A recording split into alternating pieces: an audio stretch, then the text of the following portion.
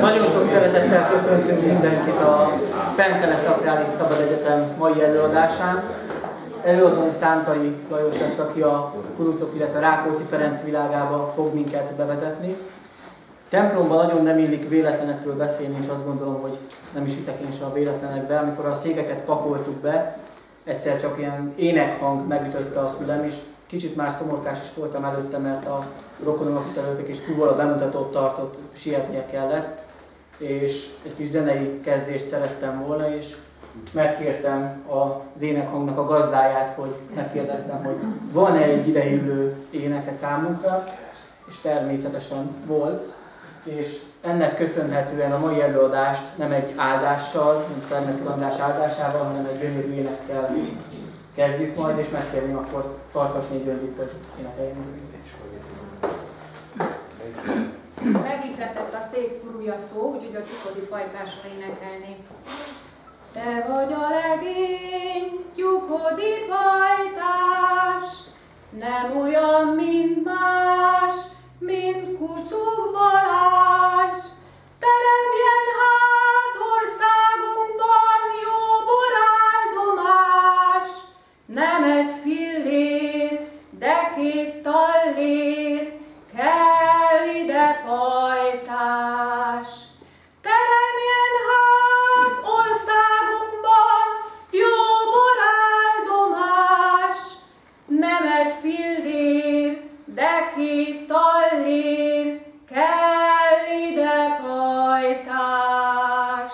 Köszönöm szépen! Szeretettel köszöntök mindenkit. Egy eh, jó hírrel kezdem. A jó hírt azt mindenki már hallotta.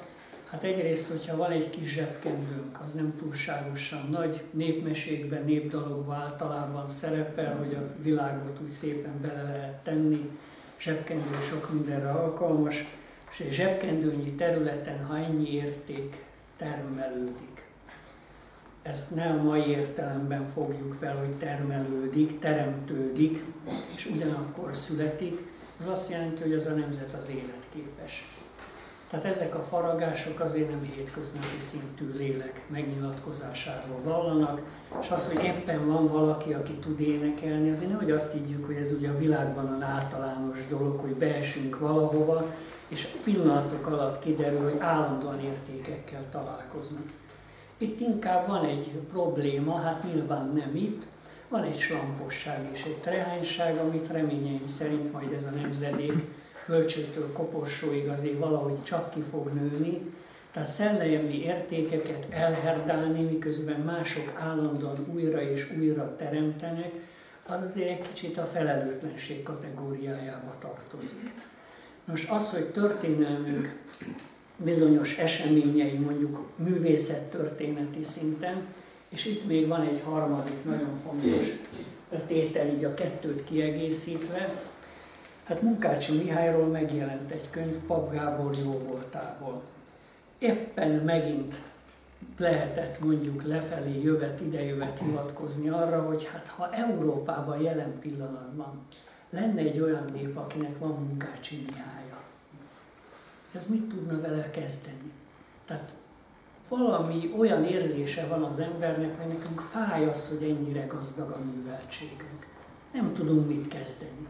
Tehát annyira valahogy egy ilyen média irányította, beszűkült látással rendelkezünk, és hát ez nehogy azt higgyük, hogy minden áron az ember nagyokat akar mondani, vagy zavart akar kelteni, vagy korholni akar, mert jobban tudunk látszólag dolgokat. Nem erről van szó, rengeteg az Valami hihetetlen nagyságrendben. És az, hogy Munkácsi Mihály történetesen mit képvisel az egyetemes festészetben is, hát ezt nagyon szépen Pap Gábor könyvéből azért kiderül, és ki lehet olvasni, tehát mindenkinek ajánlom a figyelmébe, mert egy jelenséghez tényleg érdemes hozzászokni. Amit Rákóczi is megfogalmaz, majd meg fel is olvasom. A magyar szabadságharc ügye nem a magyarság belügye. Ezt maga Rákóczi fogalmazza meg. De ez mindenre vonatkozik. Egyetemes értékrendről van szó. És nem az a lényeg, hogy mi magunknak győzzünk, hanem az, hogy a világ nyilván egy kicsit várat magára, de felismeri, hogy ezek az áldozatok, a szolgálatok az emberség megmaradását próbálják elő segíteni. És hát egy ilyen esetben, amikor egy mitikus üdvtörténelmi keretekben azért elindultunk, magyar történelem főállomásait megpróbáltuk végigvenni, hát nyilván ezek az állomások csak jelzésszerűek, de azért egy-két olyan fontos állomás volt, hogy bárhonnan közelítünk, mondjuk nyilván Szent István kora nem maradhat ki, Attila kora nem maradhat ki, Szent László kora nem maradhat ki, Mátyás király kora nem maradhat ki, és hát tulajdonképpen Rákóczi sem. Ennek több oka van, amikor elindulnak a küzdelmek Mohácsi tragédia után, de még pontosabban fogalmazva 1541. augusztus 29-e, ez Buda várának eleste. Ország három részre szakad. Azt jelenti, hogy János királynak a fia, az özvegyel, Fráter György segítségével, segítség az most megint pontosításra szorulna, de lényeg az, hogy lassan kialakul majd az erdélyi fejedelemség. A következő lépésben már Erdély fejedelme Lengyelország királya lesz. Most kiről van szó? Lengyelország egyik legnagyobb uralkodójáról, akivel megint csak hát illene egy kicsit úgy gazdálkodni, legalábbis a múlt alapján, hogy világra szóló hőstetteket hajt végre, és Lengyelország hát a megmaradását egy bizonyos történelmi időben mind a mai napig neki köszöni, úgy is tárgyalják, hogy ez a lengyel történelmen belül egy második aranykorszak. Rettenetes Iván, akinek célkitűzései közé tartozott, hogy Lengyelországot az orosz cárhatalom bekebelezi, ezt gyakorlatilag több csatában most megint egyszerűség kedvéért Moszkváig kergeti vissza. Bátori István. Tehát Erdély fejedelme, Lengyelország királya. És hát ha ilyen keretek között, mert ezek még nem keretek, fölfogjuk azt, hogy mit jelent a magyar történelem. Még ilyen helyzetben is más népeket és országokat képes úgy megsegíteni, hogy megmenti. Na most melyik nép történelmében talál valaki hasonló? Három, még egyszer neki szaladok, mert látom az elaggott tekinteteket. Tehát három részre van szakadva az ország, nem tudom, hogy fölfogjuk-e. Három részre. A vallás két részre. És ha nincs Lengyelországnak egy olyan királya, mint Bátori István, akkor valószínűleg Lengyelország is sokkal korábban feldarabolás áldozata lesz. Nem már tudni, hogy feldarabolták Lengyelországot, majd csak a 20. század első felében áll vissza a hely egysége. És kik darabolták fel? Oroszország, Poroszország, Ausztria. Történelmi tényekről van szó. Na most visszatérve, tehát ez egy bevezetésként azért majd vissza fog térülni nekünk, hogy érzékeljük azt, hogy tényleg Lengyelországgal van egy sorsközösség, és ez majd a Rákóczi életében is igen gyakran meg fog jelenni. De vissza szeretnék utalni azért a következő évszázadokra, mármint onnan kezdve mondjuk a 19. századra, nem tudom, hogy ki ismeri Petőfi Sándort, kénytelen provokatív feltenni már a kérdést, mert körülbelül, mint a kínzó vagy vallató teremben vagy fogorvosi szalonban tartózkodnánk jelen pillanatban, de nem baj, majd úgy helyreáll valamiféle, hogy mondjam, témához való magasztos arckifejezés, most nem ezért küzdök, de azért, de azért, hogy érthető legyen, nem, nem a lelkesedést próbálunk kiprovokálni, hanem azért néha látni kellene magunkat, hát könyörű, nem kínzásról van szó, hanem fogjuk fel, hogy hol kezdődik a magyar történelem. Hát ilyenkor szárnyalni kellene. Nem pedig azon tűnődni, hogy még két órán keresztül ugyan már ilyen kényelmes székeken mit lehet majd végig e, e, e, szenvedni. Tehát Petőfi Sándor, hazánk szentje, szabadság vezére, sötétében fényes csillagunk, ó Rákócikinek emlékére, lángolunk és sírva fakadunk. Hát ez az egyik verse. Na most miért idéztem én ezt mégis? elhangzik egy jelző, és megállapítás. Hát adva van a szabadság, és ő, a Rákóczi, mint a szabadság szentje. Na most felteszem a kérdést, nem könnyű rá megadni a választ, hogy van ennek a szentségnek konkrét tartalma, vagy csak valami szépítő megállapításként jelenik meg Rákóczi esetében, hogy ő a szabadságnak a szentje. Hát, ha így teszem fel a kérdést, akkor illik valamit tudni. Kezdeményezték egy évszázaddal korábban Rákóczi. Pont. Tehát azért lehetne küzdeni bizonyos, hogy úgy mondjam, helyzetek tisztázására, mert amikor Mátyás királlyal befejeztük, hogy emlékezzünk vissza, 1490 nyarán Magyar Országgyűlés, az ország rendjei, főpapjai milyen határozatot hoztak. Hunyadi Mátyás szenté avatását gyakorlatilag elmutatották. De föl kellene ébredni. Egy utókor, hogyha ennyire trehány, hanyag és lampos, ugyanakkor nem saját magának köszönheti mindig, de vannak olyan történelmi pillanatok, amikor semmi kényszerítő dolog nincs a világ történelemben, hogy ne térjen vissza az a maradék, de nekünk szánt józan ész, amivel azért tisztázni lehetne dolgokat. Ez miért veszélyes tétel? Azért, mert a te tetteid követnek téged. És azért érzékelni kellene, hogy hiába a nagy küzdelem, ez az erőfeszítés, amit jelen pillanatban az mi korosztályunk is tesz, gyakorlatilag a semmi és a valami közötti megfoghatatlan tartományban, nem azt mondom, hogy Lubickor, hanem mint a fuldokló kalimpál. És eljönnek ám azok az idők, és én nem nagyon szeretném ezt úgy megélni, hogy az ember ezzel szembesül. Amikor egy következő nemzedék megkérdezi, mit tettetek? Számoljatok el. 1990 óta tessék megmondani, hogy mit tettetek. Hova jutott az ország? Hova jutott a magyar múlt? A jelennel, jövendővel. Mi az, ami, ami megakadályozott benneteket mondjuk egy komolyabb, bátrabb cselekvésnek az elindítására? Sokkal többet lehetne tenni. Sokkal többet. Hát határon túli területeken azért gondolkozzunk ott tényleg azért bizonyos dolgokért naponta meg kell küzdeni. És olyan feltételek között, ha összeadjuk az erőfeszítéseket, hát azt kell mondani, lehet, hogy valamivel többet tesznek. Csak nem olyan látványos az eredménye. Sokkal több lehetőség áll a nemzet javára, rendelkezésére, sokkal több lehetőség van a kezében, mint az, ami jelen pillanatban vannak ki.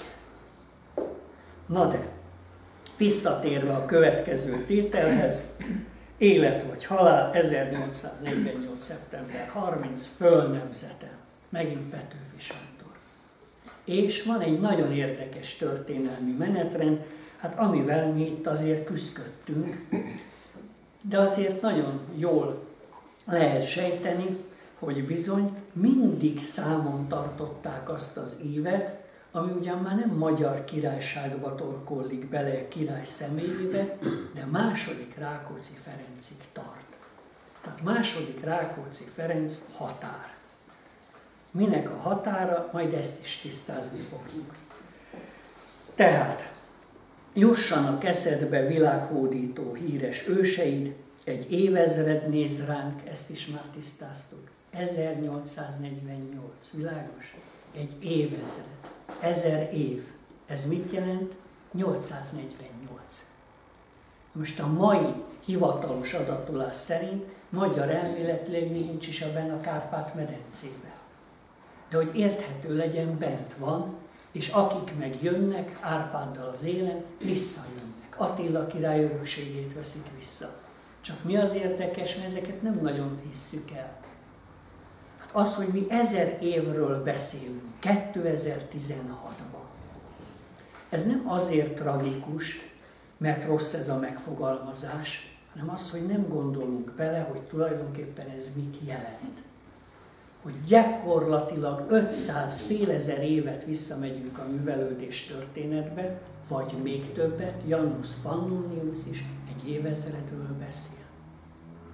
Tehát akkor mi ez az ezer év? Nem ezer éve vagyunk Európa szívében, és ismerjük ezeket a mai, ezer éve vagyunk itt. Ne szórakozzunk, már lassan Szent István is kiszorul az ezer évből. És egyszerűen hihetetlen, de valami döbbenetes. Hát az, egy Petőfi Sándort nem ismerni, ha azt kell mondani, hogy Ázsia nagy része, ezt már tárgyaltuk, Kínában tananyag. Tehát fejből idézi bármelyik járókelő Pekingben, Petőfinek szabadság, szerelem, jó, nem hosszú vers. Tehát ha nem hallom kínaiul kínaitól, hát nekem kínai, ha valaki mondja. Hát na, örül neki az ember, mert ezeket lehet tudni. Hát ezek irodalomtörténeti tények. Ezeket rádióba, tévébe, ha szó történetes irodalomtörténészt hívnak meg, elmondják. Csak ilyenkor senki nem figyel oda. Érdekes módon, ami nem jelentős, arra mindenki odafigyel, úgy általában. Tehát nem lehet azt mondani, hát mi ezzel nem találkoztunk. Akkor mivel találkozol az életedben? De tényleg mivel? Áruházak neoreklámjával? Vagy árleszállítással, vagy árnövekedéssel? Vagy egyáltalán mivel lehet akkor találkozni, ha ezzel nem sikerül találkozni? Ezek evidenciák, tények. És itt szólal meg, hogy egy évezred néz ránk ítélő szemmel. Attillától egész Rákócziig. Tehát ez mit jelent? Igenis van a magyar történelmnek egy olyan sodra, egy olyan menete, amit a nemzet tényleg Rákócziig tart számon. Utána is van folytatás, de miért Rákóczi? A Petőfi esetében mit lehet mondani? Hát szabadságharc 1848-ban, előtte pedig 1703-ban indul a Rákóczi szabadságharc, hazánk szentje, szabadság fényes csillaga, hát nyilván egy ilyen összeköttetés, csak hogy Attila nem vívott szabadságharcot. Mondom, észrevesszük. Vagyis ha vívott, más jellegű harcot, szabadságharcot vívott. Tehát mit jelent az, hogy Attilától Rákóczi? És meg vagyok győződve, hogy Petőfi, hogyha mondjuk szót kapott volna, akkor ugyanezeket el tudta volna mondani. Hogy van egy nemzetség a világ történelemben, ezt mondjuk a 13. században, 4. Béla korában, második András korában királyok oklevelei úgy tartják számon, hogy szent királyi elődeink, szent királyok nemzetsége. Na most hogy nevesül a szent királyok nemzetsége? Ma Árpád háznak hívják, ezt is megtárgyaltuk, hogy történelmileg nem egészen állja Hát hogy hívták az Árpád házat? Turul nemzetség, Attila király nemzetsége. Na most hogy jön össze Attila Rákócival? Hát megint egy nagyon egyszerű tétel, Bátor István lengyel királyra utalok vissza, lengyel krónikákban hogyan emlékeznek meg Bátori István származásáról. Nagyon egyszerű. Attila király nemzetségéből származott. Pont. Aztán megyünk szépen. Tovább Betlen Gábor. Erdély fejedelme. Bátori Gábor után jön, hát ott egy kicsit több rendbéli probléma adódik, de egy biztos, Betlen Gábor, amikor Erdély fejedelme lett, akkor helytált, örtálló volt, és valamit a világ történelemben megtett hogy lehet egy magyar országrész, mert Magyarországnak Erdély, a Kárpát-medence egészéhez képest azért ez egy terület, azért része, szerves része. Na most a nagyság rendjét tekintve, abban az időszakban, hát amikor nagy hatalmak, és két ütköző nagy hatalom, az a Habsburg birodalom és az oszmán török birodalom. Hogy tudott Betlen Gábor egy erdélyi fejedelemségből európai nagy hatalmat. Tehát nincs tévedés. Erdélyi fejedelemség európai nagyhatalmi státuszban működik Betlen Gábor tevékenysége révén. Tessék utánozni. Ezért valószínűleg nem nagyon tanítanak magyar történelmet. Három részre van szakadva az ország, még egyszer nekifutok. Két részre a vallás Ez azt jelenti, hogy gyakorlatilag az életnek nincs olyan területe, amit ne darabolnának fel. Nemzeti királyság visszaállításának próbálkozásai egyik csúcspontjukhoz érkeznek el. És Betlen Gábor az erdélyi fejedelemségből európai nagyhatalmi tényezőt tud, nem 50 meg 100 év alatt, hogy majd 5 vagy 10 év múlva elérjük a környező államoknak. Hát az engedelmet kérek, hát egész gyerekkorom azzal telt el, hogy elmondták azt, hogy most még itt vagyunk, de a következő öt éves etap idején majd amott leszünk. 1990-ben még azt ígérték, hogy rövid időn belül elérjük az átlag nyugat-európai. Nem tűnik fel, hogy már gyakorlatilag nincs olyan szintje Európának, nem tűnik föl? Véletlenül? Na de mi a probléma? Köszönhetjük magunknak. Hát térjünk már észhez. Minden kornak vannak kortársai. És tudom, hát látom, mit lehet tenni.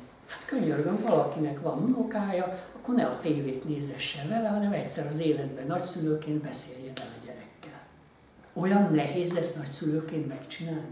De a unokát nem érdekli. Honnan tudod? Mi is voltunk gyerekek. Van egy mondás, más a vető, más az arató. El kell mondani dolgokat, világos. És majd eljön az életének az az időszak, amikor a magokból vagy ki kell valami, vagy nem kell ki semmi. Tehát nem ördöngősen nehéz dolgokról van szó, hát éppen itt van egy ilyen szeles ördög szekeres figura. Tehát nem, nem erről van gyakorlatilag szó, hanem néha még a minimális szintet sem. Holott pedig úgy állítjuk be időnként magunkat, hát, hogy mi aztán tudunk. Hát a szomszédot is meg lehet szólítani. Tehát egyszerűen érthető legyen, na hát minden esetre vannak, vannak fenntartások. De egy biztos, Betlen Gábor maga nyilatkozik. Nem is akárhogy nyilatkozik. Ráadásul Betlen Gábor emlékezete forrásgyűjteményben olvasható. Ráadásul semmi gunyoros megjegyzés nincsen kivételesen. Semmi megjegyzés, dehonestáló megjegyzés. És ez becsületére válik mondjuk a Betlen Gábor emlékezete forrásgyűjtemi történész szerkesztőjének. Nem akar okosabb lenni Betlen Gábornál. Na most hogy szokott Betlen Gábor nyilatkozni, hogy ő nemzetsége anyai ágon honnan származik? Attila király nemzetségéből származik. Aztán Eszterházi Pál Magyarország nádora. Pont a Rákóczi szabadságharc ideje alatt, de már előtte 1681-től.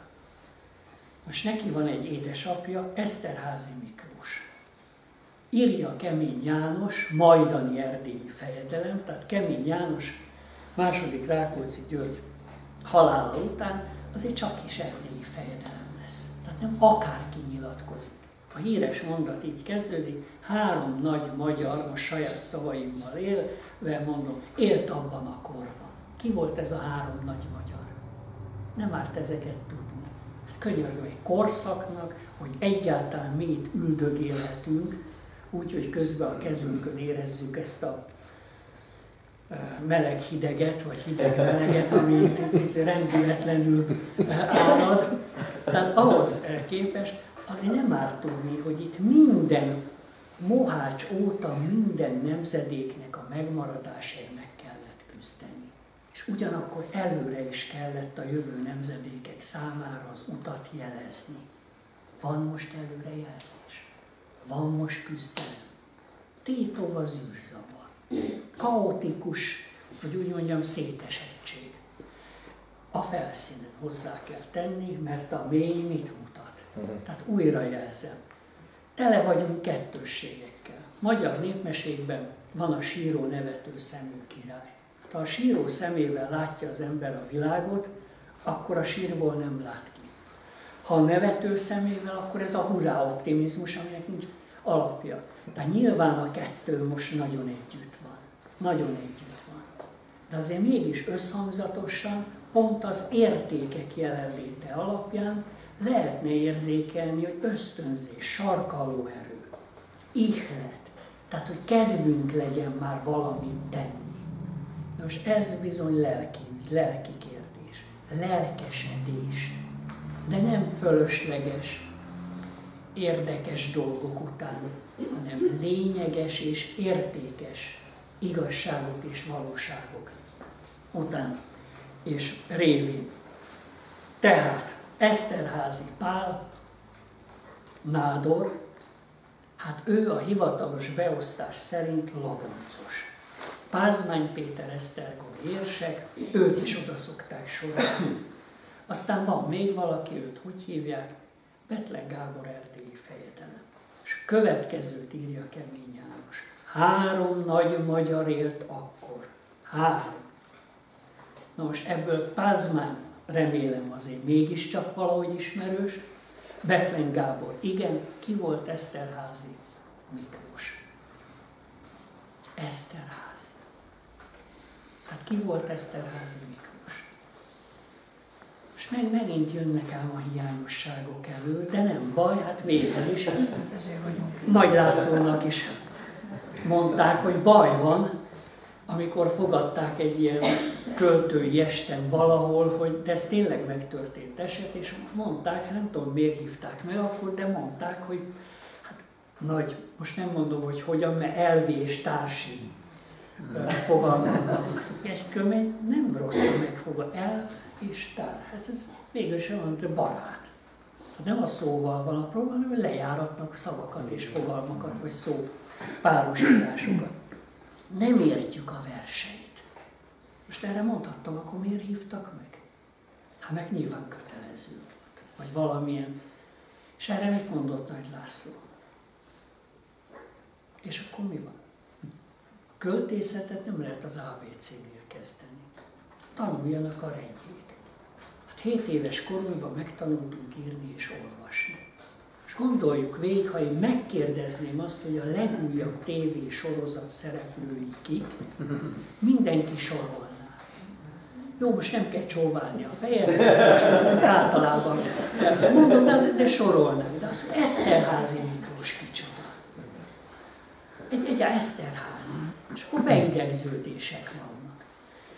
Nota bene, ő is visszavezeti a család Elmegyünk például a Fraknói várba, lehet látni. Na most érdemes valamire felfigyelni. Az a kortárs világ, és ez most legyen 150 évig tartó, és még tovább tartó, ez a magyar nemességnek az akkori színe java. Végeredményben kire vezeti vissza magát a nemzet. És elmondják egyébként, most Ausztriához tartozik Fraknóvára, tehát ott is elmondják, hát ilyen családfák vannak. Hát érdekes, meg, meg elképzelt, nem elképzelt. Hát könyörgöm, ki áll a nemzet élén? Mondai hagyományban, krónikás hagyományban. Ki ő, akinek van két daliás fia, akik ikrek, és tőle származnak tőlük a hunok, vagyis a magyarok. Nimród a világ első. Na most mi volt Attila király címe a maga idejében? Attila Isten kegyelméből Bendegusz fia Nagy Nimrod unokája. Hát nyilván nem a hétköznapi leszármazás szintjén, hanem egy eszmeiség keretében. Mert Nimrod volt a világ első királya, Attila pedig úgymond a magyarok első királya. Tehát egy magyar üdvtörténelmet belül Jézus születésével induló világhónap gyakorlatilag Attila alakítja ki azt a királyságot, aminek ő az első királya. És az Eszterházi család, úgymond, most ne a mai irodalmi teljesítményekből indulunk ki, szemrevenés nélkül saját családfáját kire fogja visszavezetni.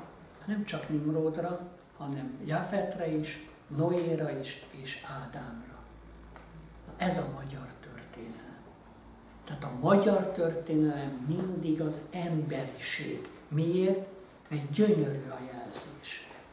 Ahogy éppen Pap Gábor az egyik népmese kötetének címét megadja, ami magyar népmesében hangzik el, Fehér Jófia változatú népmesébe, emberséget járunk tanulni. Tehát azért vagyunk itt, hogy emberséget járjunk tanulni. És kevés olyan nép van a világ történelemben, amely minden pillanatában bármit tesz, az gyakorlatilag az egész egyetemes emberiség mércéjének megfelelően próbálja megtenni. Tehát emberek vagyunk. Tehát nem koholt családfa, meg elképzelt, hanem emberként akarunk élni a Földön. És az emberiséget emberként akarjuk gazdagítani. Melyik nép történelmében központi vonulat ez? De úgyhogy bármikor benyúlunk a magyar történelembe, tetten lehet élni. Na ezt kellene végre megbecsülni. És nem pedig a sok szerencsétlenkedés, hogy hallottad ezt az elméletet, hallottad azt a megnyilatkozást, Hát ez egy teljes kaotikus, szétesett lelki világra, hogy elméletek, hogy éppen ki. Hát kell egy identitástudatnak lenni. Aztán azt vagy megpróbálja egy elmélet igazságát, vagy kiderül arról, hogy tényleg marad az elméleteknek a szintjén. Na mindezt miért jeleztem? Hogy érzékeljük, hogy a magyar nemesi nemzet az végeredményben, mivel általában házassági kapcsolatok is történnek, tehát nemzet, egy nép fiai, tudom, hogy nehéz felfogni, de végül is miért tartoznak egymáshoz, egy nép fiai? Miért alkotnak egy népet? Mert összetalálkozunk különböző helyen, vagy egy helyen, különböző helyekről érkezve, elkezdünk beszélgetni, kiderül, hogy vannak közös ismerőseink. Én még két olyan embert nem láttam a magyarság körében, ami hosszú vajudó beszélgetés után az egy-két közös pontot ne talált volna. Jön a következő tétel. Na de vannak távoli. Hát könyörgöm, egy nép össze fog tartozni. Ennek a gerincét, akik tudják is, hogy kicsodák, nemzetnek hívták. Miért? Hát mert nemzet. Tehát tudja, hogy ki kinek a felmenője. Boldog őse. És ha házassági kapcsolatok kötnek, akkor a legtávolabbi rokonokat is számon szokták tartani. Na most egyet tudunk, középkori példa. Csák nemzetség vérrokonságban volt az Árpád házzal, vagyis a Turul nemzetséggel. Abba nemzetség vérrokonságban volt a Turul nemzetséggel, vagyis Attila király nemzetségével. Tehát ha történetesen kialakulnak menetrendek, ugyan nem a főágon, de egy biztos ki fog derülni, hogy akik főszerepet játszanak a Nemzeti Királyságért való küzdelem idején, 150 éven keresztül, ugyanolyan vérségi alapon jogot formálhatnak a magyar szent koronára, ahogy ezt a Habsburgok megtették. Sőt, még egy nyomatékos erő működik, hogy nemzeti királyság. Tehát nem külföldi családok által létesített, mert bármennyire különös, a Habsburgoknak is kellett vérrokonságra hivatkozni. Szoktak hivatkozni? Mária Teréziára gondoljunk.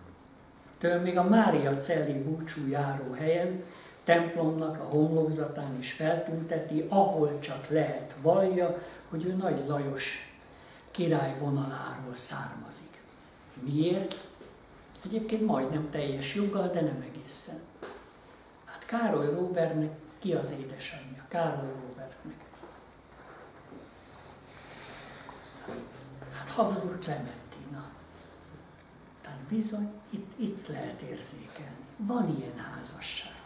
Az más kérdés, hogy Máriában, Nagy Lajos lányában, és Hedvigben ez az ágazat úgymond látszólag majd be fog fejeződni.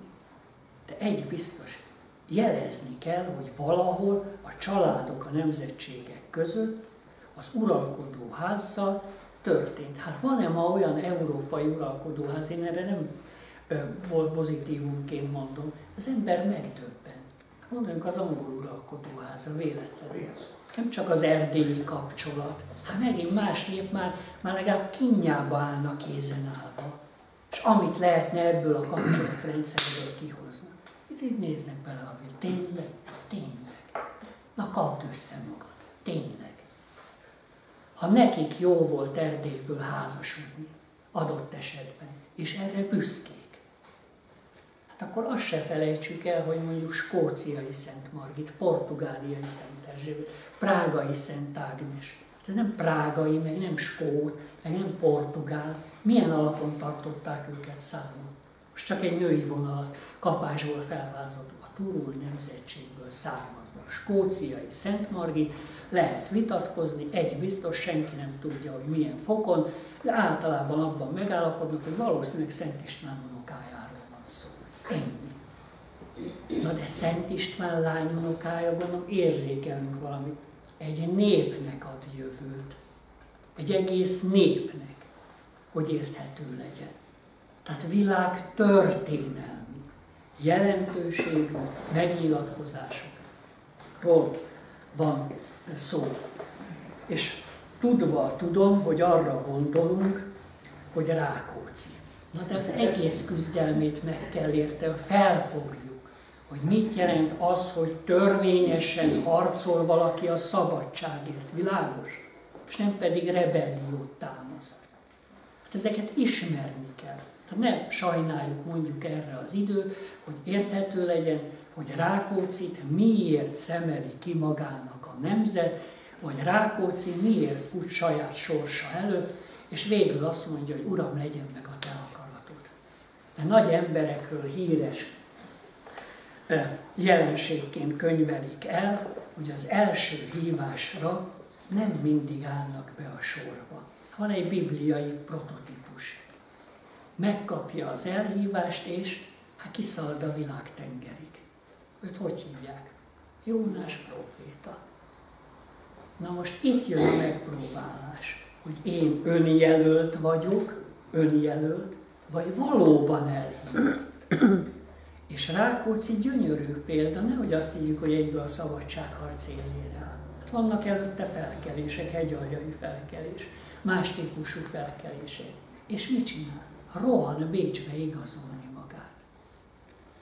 Hogy ő köszöni szépen, de hát, de hát az, az a helyzet, hogy ő ebben nem vett részt. Most nehogy átessünk a ló túlsó oldalára. Fiatal emberről van szó.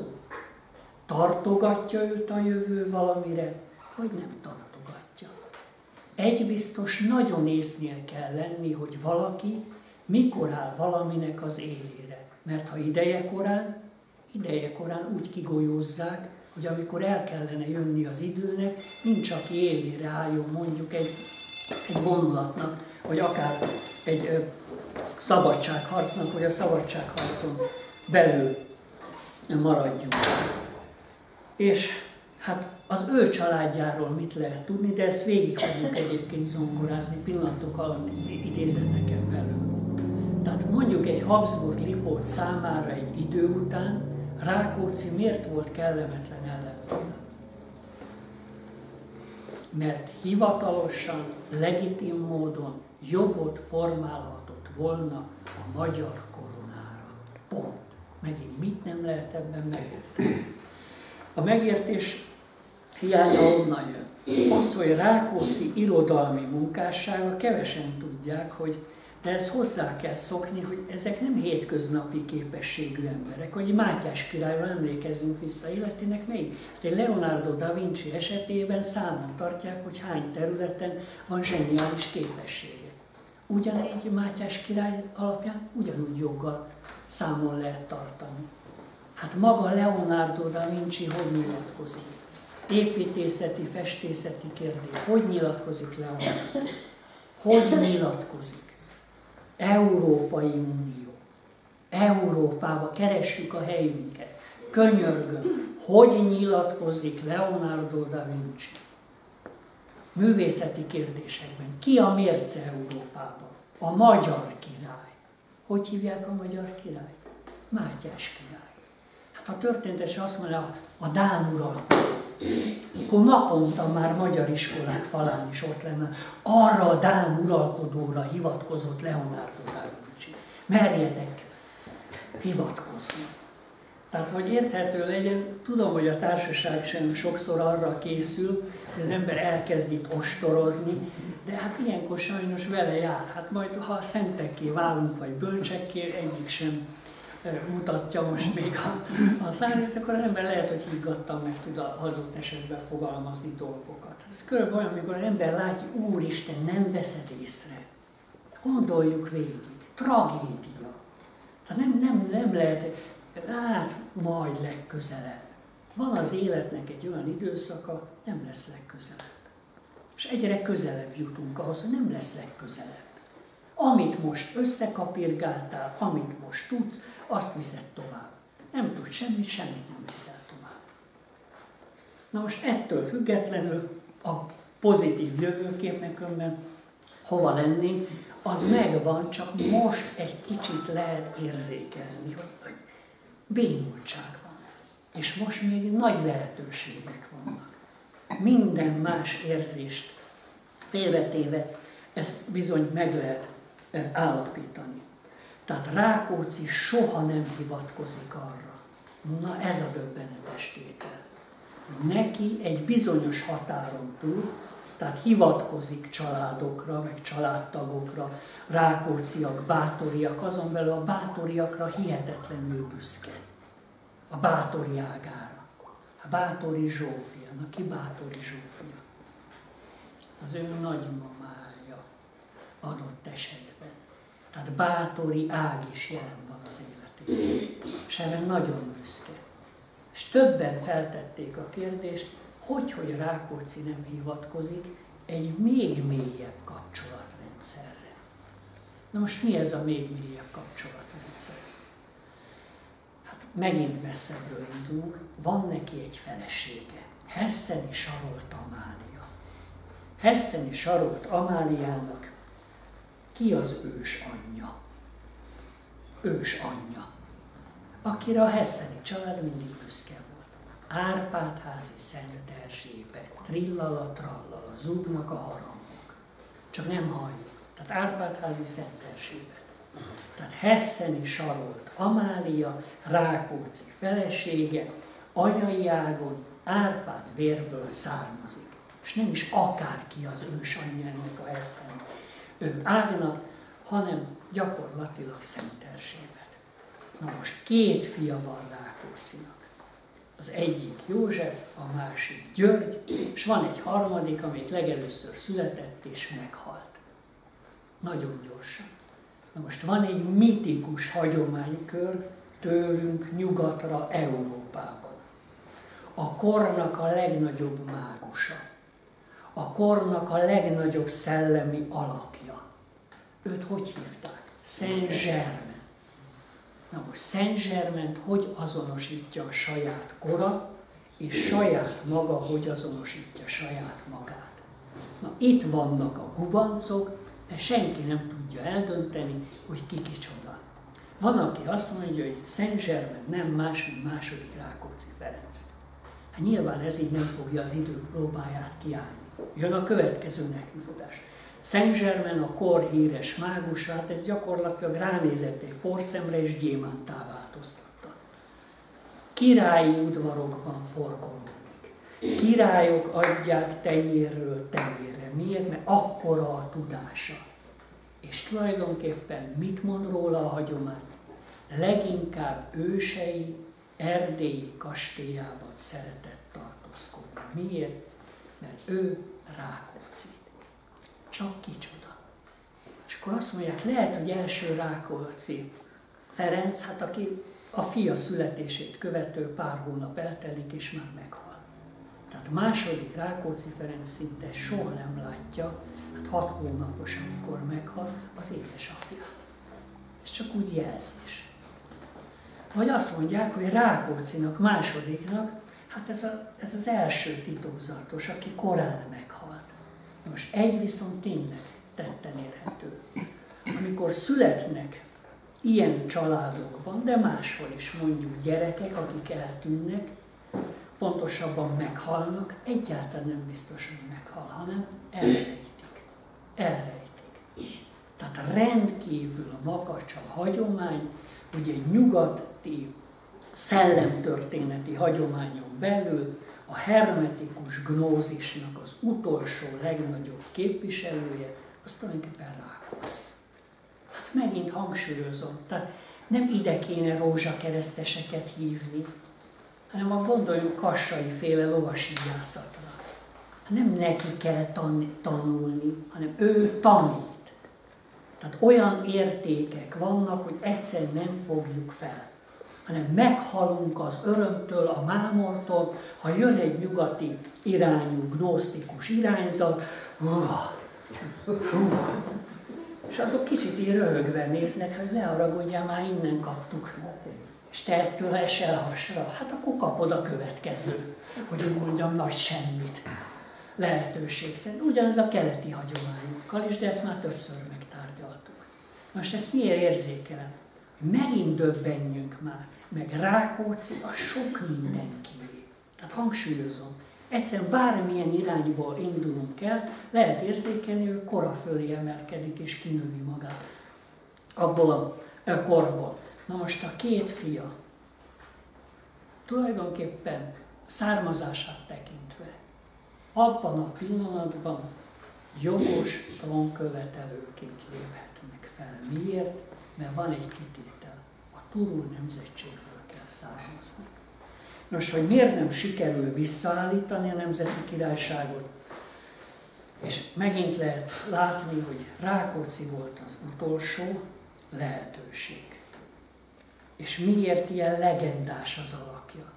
Mert lehet, hogy nem tudjuk, de érezzük. Lehet, hogy tudjuk is, és érezzük is, és értjük is.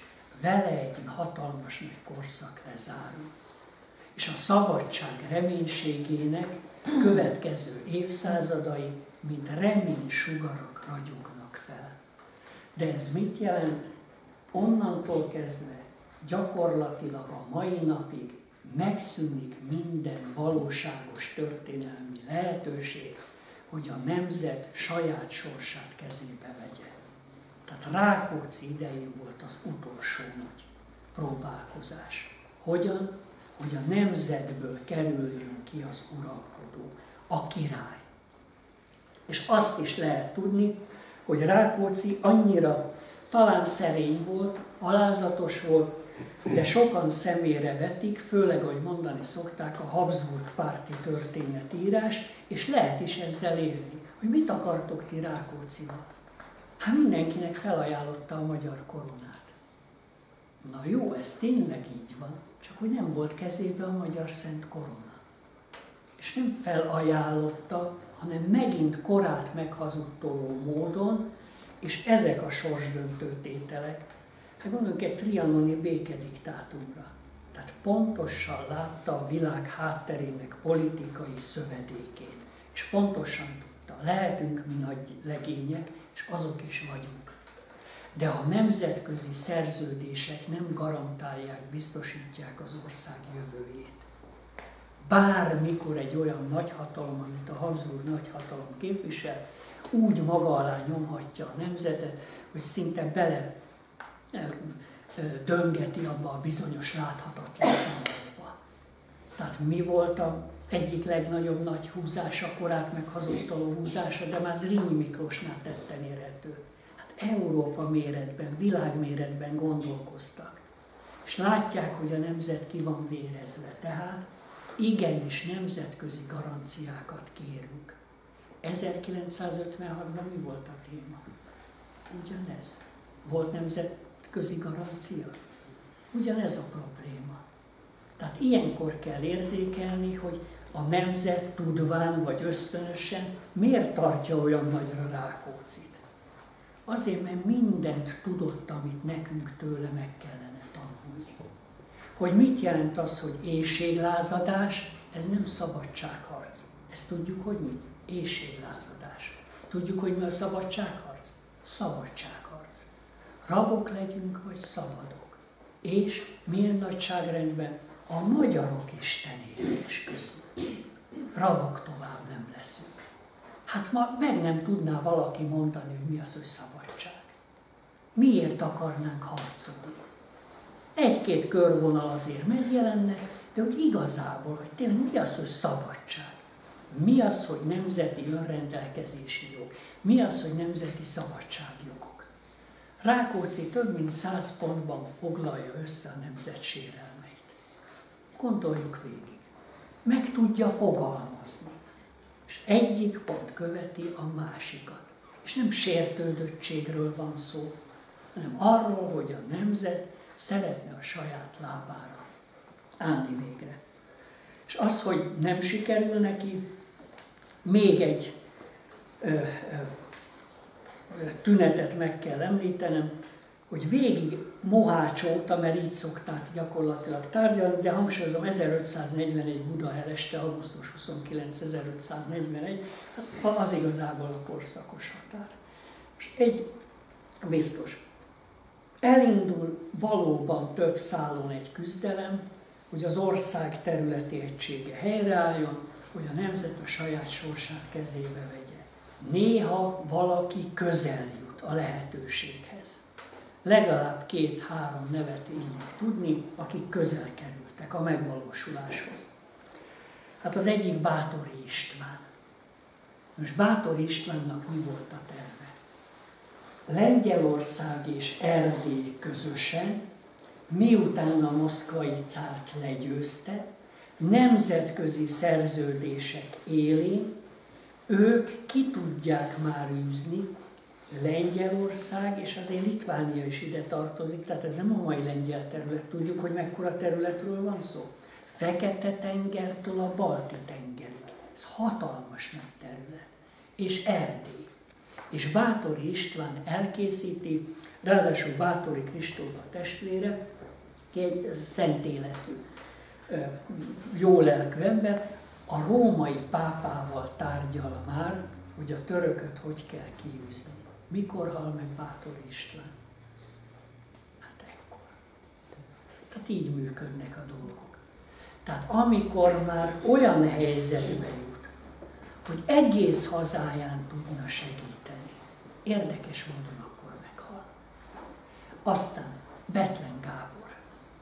Ő is nagyon közel van. Ráadásul ahhoz, hogy ő magyar király legyen, azt kell mondani, hogy nála közelebb, egyfajta szempontot figyelembe véve, senki nem jutott közelebb a koronához. Miért?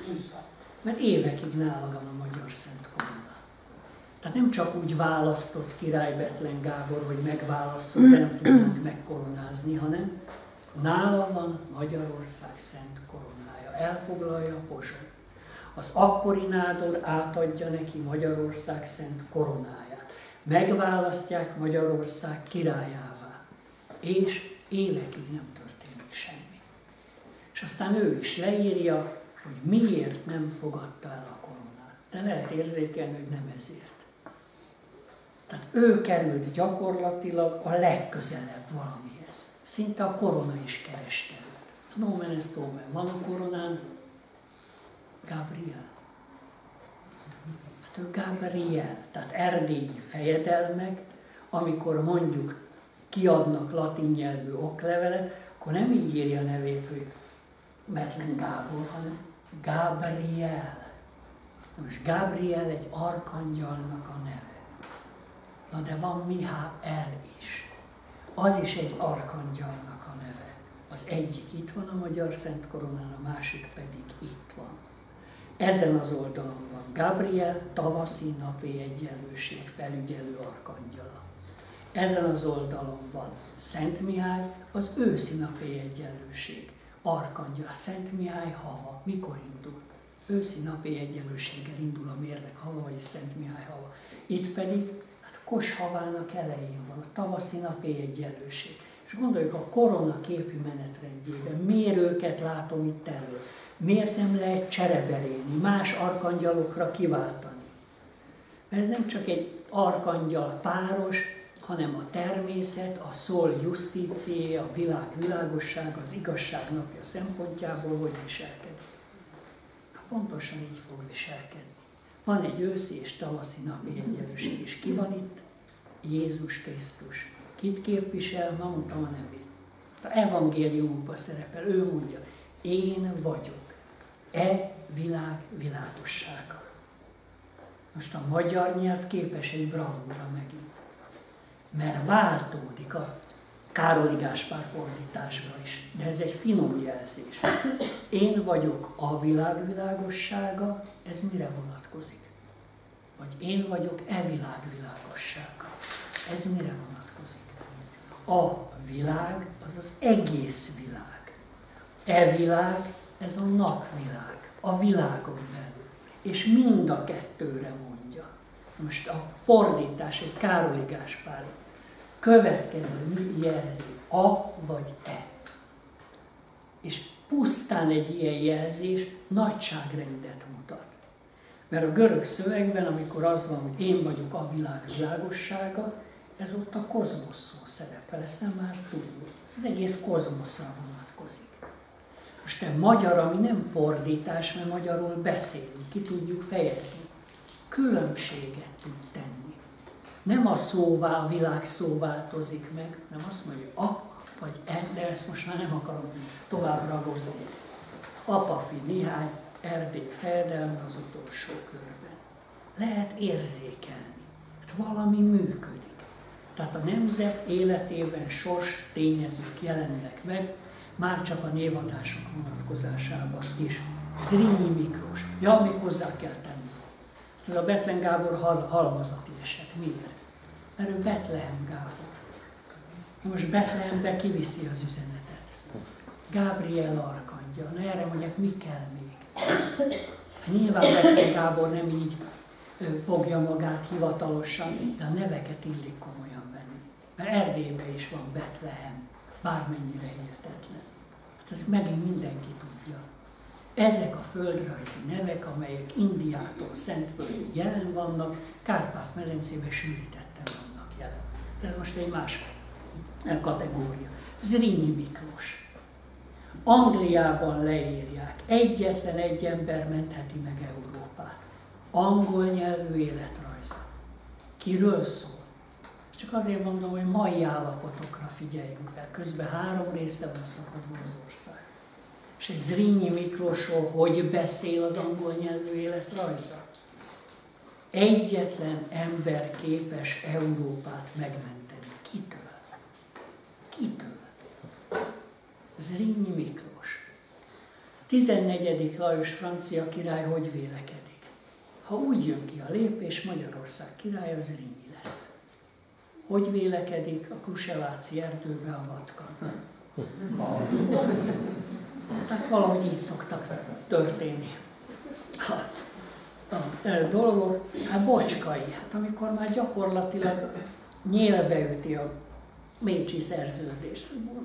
Neki köszönhetjük, hogy egyáltalán bármennyire hihetetlen, hogy második Mátyással az élén a magyar rendek Prágából haza tudják hozni a magyar Szent Koronát. Második Rudolf, Habsburg Rudolf ott tárolja a kincstárát.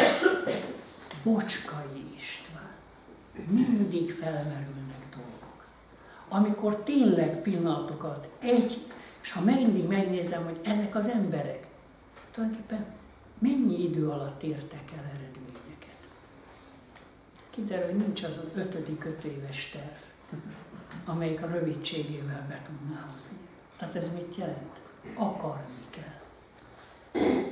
És ha szabadságot akarunk, akkor viszont a szolgaságot nem kell vállalni. Vagy ha vállaljuk a szolgaságot, akkor annak legyen egy egyetemes vállalása, hogy másokért. De ez a tingli-tangliság már elnézést. Nem tudom, hogy lehet szépen megfogalmazni. Na de nem ez, hanem úgy általában, mert az egész világ nehéz helyzetben van, nem csak mi. Csak itt lehetőségek vannak. Miért? Mert van kitekintésünk, rálátásunk. Ez kevés helyen adatik meg jelen pillanatban a földnevezető Na de megint vissza szaladok és térek a tételhöz, és akkor az utolsó ebben a sorban, végeredményben második Rákóczi Ferenc, akinek a legnehezebb dolga van, és ebből a szempontból legkisebb esélye, hogy ő Magyarország nemzeti királya lehessen. És mégis harcol és küzd, és fáradhatatlan. És tudja, hogy nem lesz ennek hétköznapi történelemben pozitív vége, és mégsem csügged el. Nem tudom, hogy ki ismeri azt a nagyon híres Mányoki Ádám festményt. Hát Mányoki Ádámnak is a legjobb képe egyébként, akik így foglalkoztak az ő munkásságával. Itt minden összegződik a festőművész részéről is. Hát az, az, az a festmény, az a nagyon híres. Tehát amikor egy ilyen fejedelmi süveg, vagy kucsma van, inkább süveg van a fején, kicsit sötét a háttér, azért nem nagyon érzékel. És hol készül az a kép és mikor? Ez már a bujdosásba készül. Danszkába, világos. Soha többet nem látja Magyarországot. És mi az arca? Fenséges és méltóságos. Lehet látni, ennek emberi arca van. Ennek méltósága van. És ha jobban megnézi az ember a képet, akkor látja, hogy van megfestve a szeme. Könnyes. De nem ez sugárzik a képről, hanem vegyetek észre valamit. A méltóságunkat nem tudjuk megőrizni, bármilyen helyzetben, akkor nem érdemeljük meg az ember nevezetet. Tehát így belenézni a jövőbe. És azóta hát mindenkinek a szeme ezen az arcképen csüng, mert valószínűleg tényleg ez fejezi ki legjobban azt a tartást. És ha jobban megnézi az ember azt a tényleg szomorú is az a tekintet, de mégsem csüggedő, mégsem lemondó, hanem férfias, határozott, és ő már szembenéz a sorssal és tartása. És milyen ez a tartás? Fejedelmi. Tehát nem akármilyen szinten mutatkozik meg. A következő akkor így hangzik, hogy a családfa kutatás területén indulunk el. Néhány idézetet fel fogok olvasni. Azt ígérték, hogy szauna lesz ebbe a területben. Én meg gondoltam, hogy strandpapucsba jövök, vagy valami hasonló felszerelésben. Rákócinak, tehát most így idézetek, csak megint a, a, a jelzések vonatkozásában, hogy mit tudott származásáról korszak, és ő saját maga mit tudott saját származásáról. Azt már nem érdemes tekerni. Rákócinak az örökös, tehát, idézet. Tehát be, be kell látni, hogy vannak termek, amiket nem lehet ezt nem tudom, miért nem lehet. Mert valahol máshonnan jön. Lehet, hogy itt valami, ott annyi érzékeny ember van, valószínűleg olyan fölsugárzás van, hogy a, akár tüzet is rakhatnának, akkor is. Na most. Rákócinak az örökös fejedelmi és közelebbről római szentbirodalmi fejedelmi címre két oldalról is jogcíme volt. Tehát most egy érdekességet nézünk vissza. Kevesen tudják, hogy a Szent Német Római Birodalomnak hercege. Tehát most nézzük innen a ügyet. Két oldalról is jogcíme volt, Bátori és Rákóczi ágról is. Rákóczi különben is leszármazási táblákkal igazolta, amikor 1694-ben maga is szorgalmazni kezdte a címet, hogy mind a Bátori, mind a Rákóczi, mind a Lórántfi és Zeleméri családok jogainak egyedüli örököse ő és nővére. Igazolta, hogy ő nem csak Bátori Zsófia fejedelmasszony unokája, hanem ezen az ágon a herceg Radzivil gróf, gróf Szagreski és a Szienavszki családdal is rokon. Na most ezek nem árt tudni, hogy egy részük a lengyel uralkodóházzal, a piasztokkal állnak vérrokonságba, a piasztok pedig az Árpádházzal, tehát az Árpádház most így teszem fel a kérdést, hogy csak 300 éven keresztül, ez legyen mondjuk Géza fejedelmi Szent István korától harmadik Andrásig, melyik európai családdal kötötték a legtöbb házasságot? A lengyel. Most ezt ki tudja? Egy évszázadban egyszer van német házasság. És van még egy probléma. Szent Istvánnak sem német a gizellája, hanem bajor. És van még egy probléma. Nagyon sokan, Padányi Viktor például leírja a Vérbúcsú című tanulmányába, hogy Gizellának ki volt a nagyszüneje, anyai ága. Vérbúcsúnak a nő testvére. Világos. Hát ezeket kell tudni. Mert jövünk ezekkel a klasszikus demagóg szövegekkel, Szent István behívta a németeket. Ehhez képest 1030-ban Konrádot úgy veri ki a Kárpát-medencéből, hogy a határokat a Melki apátságig tolja vissza. Ezt miért nem tudjuk? Hát mert sokkal egyszerűbb az augusztus 20-ai műsorokat nézni. És még Badimiós Ferenc véleményére hallgatni, a még szélsőbb állásfoglalás. Tragédia, tehát tényleg katasztrófa. Tehát attól, hogy ki milyen származású, attól még tényleg viselkedhet úgy, ahogy nem kellene. De hányszor mondják el baráti körbe, hogy hát a bajor az nem német. Abban a pillanatban a Szent István feleség, akkor már német. Most ez hogy van? Lehet érzni, ez valami elment. Nem messzire, szerencsére vissza lehet csalogatni, vissza lehet műni, és azért nem árt. Meráni Gertrud. Gondolom sejtünk valamit. Egy évszázadban egyszer van ilyen házas. Honnan házasodtak? Miért csak ezt érezzük meg?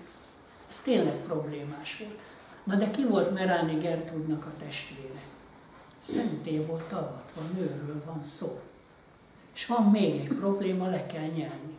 Ez a Meráni család vérrokonságban állt, na itt van Gertrudnak a szenté avatott nőtestvére. Az, hogy Gertrudba csak boszorkányság és tündés, nem tündérség öntetett, az egy más kérdés. De már ott van Szent Erzsébet. Hát ezek nem, nem ilyen házasság. Hívjuk be a merániakat. Tudjuk mi a meráni? Hát a Tihanyi félszigeten gyakorlatilag elveszne. Annyira nincsen súlya, mint ahogy Türingiának sincsen. Teljesen más szempontok vezéreltek, és jelennek meg. Na, tehát visszaugorva és térve, igazolta. Tehát ebben mi az izgalmas? Hát az, hogy ki ez a Rákóczi. Tehát hányan érezhetik megint csak magakénak, akár Mátyást, de mindenki maga gyarnak tartja, és ő magát magyarnak vallja. Sőt, még egy probléma, ami nem probléma, szkítának. Hát ő nem azt írja a bátori ősökről, amit nekünk hivatalosan tanítanak, hogy a gut kelet nemzetség, hanem szkíta elődei. Szkíták. Tehát szkíták. Hát a magyar nép az szkíta nép ebben az esetben. Hanem azon az ágon, ezt már elmondtam, de a lényeg most. És hogy női ágon egyenes leszármazottja Palajologosz házból való bizánci császároknak. Kicsoda? Második Rákóczi Ferenc. És itt gondolom tudjuk, hogy kik elnökölnek. Hát Habsburg Lipót. Nincs visszabeszéd. Rákóczi anyai ág, női ágon leszármazottja a Palajologosz dinasztiának. És ki volt a Palajologosz dinasztiának az ősanyja? Hát amikor egy Palajologosz császár, már török veszély idején felkeresi Nagy Lajos király udvarát, akkor milyen alapon keresi fel? Rokonok vagyunk. Vajon miért? Mert te fiam, hát nem tudom, hogy hány éves éppen, de egy biztos, az én családom, a te ősöd, ötödik István, Anna nevezetű lányától származik az enyém, a palajologos család. Tehát ez mit jelent? Kapaszkodjunk meg. Számon tartják, erre büszkék. Most az országházban volt valami általában görög, tehát bizánci magyar kulturális kapcsolatok. Hát nem tudom, hogy mondjuk ezek a dolgok elhangzottak-e. Egy biztos, az egész keleti egyház legnagyobb női szentje az ortodox egyháznak, Hagia Szófiában is kevés mozaik maradt meg, az eredetiek azért maradt meg. Gondoljuk azokra hatalmas angyal képekre a kupolában, azok döbbenetes hatásúak. És a mozaiknak van egy titka, hát a fényjel olyan sejmes baráti kapcsolatban van. Hát e-, e-, ezért kultiválták. Tehát ha mondjuk gyertyák, fákják, vagy a nap, vagy égitestek, mint telihold fénye, olyan, mintha ott lenne. Van egy térhatás, van mélysége. van mélység. Most képzeljük el Hagia Szófiából, ezek a hatalmas, csodálatos angyalok, szeráfok hat szárnyukkal, szépen úgy lebegnek. Na de a történelmi tabló vonatkozásában nem túl sok kép maradt meg, az egyik viszont megmaradt. Szent Iréne. Ki Szent Iréne? Szent László királyunknak a lánya, Piroska néven kerül oda, és Szent Iréneként az egész ortodox egyház legnagyobb női szentje. Nem is túl nagyobbat mondtam. Na most ezen a kapcsolaton belül, tehát a palajologos család, az a turul nemzetségre vezeti vissza magát. Na most gondolom észrevettünk valamit. Rákóczi nem hivalkodik, hanem gyönyörű jelzések. Hát ha tudjátok, hogy a palajologoszoknak ki az ős anyjuk, és tudjátok, hogy én ki vagyok, na akkor a Nemzeti Királyság visszaállításának jogos vagy jogtalan letéteményese. Na de miért hallgat Rákóczi? Mert tényleg történészek megemlítik, hogy ő nagyon hallgat ebben a kérdésben. De látjuk, hogy nem egészen nagyon, hanem valamit pontosan tud. Ő nincs abban a helyzetben, hogy most hivalkodjon. Ezt hogy mondanánk mondjuk háborús filmek, a mi gyerekkorunkban vissza tudunk emlékezni, most nem is mondom, hogy kik, milyen ország, milyen kompánia, milyen unió, és mindig volt valaki a hős, aki mondta, hogy ide lőjetek, de hát senki nem találta el soha, és gyakorlatilag páncélos hadosztályokat egy, egy, egy, egy huszáros rohammal szét tudott kergetni. Na most ez nem jó hasonlat, de vannak történelmi helyzetek, nem szabad kérkedni és hivalkodni. Ugyanakkor pedig idézem 14. Lajos Nagy Péter orosz tehát az egyik a francia király, másik az orosz szár, de lehetne a svéd uralkodó 12. Károly. Milyen véleményre jutnak? Ha történetesen úgy adódna, ki lenne Magyarország királya? A Habsburgház trónfosztása és a Habsburgok kikerülnek, lekerülnek a napi. Egyetlen egy ember, a második. Na most ő viszont pontosan tudott valamit, most tömörítünk. Hát nincs kezében a magyar szent korona. Abban a pillanatban, amikor ő elindul Magyarország felé, Pozsonyból már Bécsbe viszik a szent koronát. Tehát egyszer esélye nincs korona közelbe kerülni. Na most mi az, ami elérhetőnek tűnt?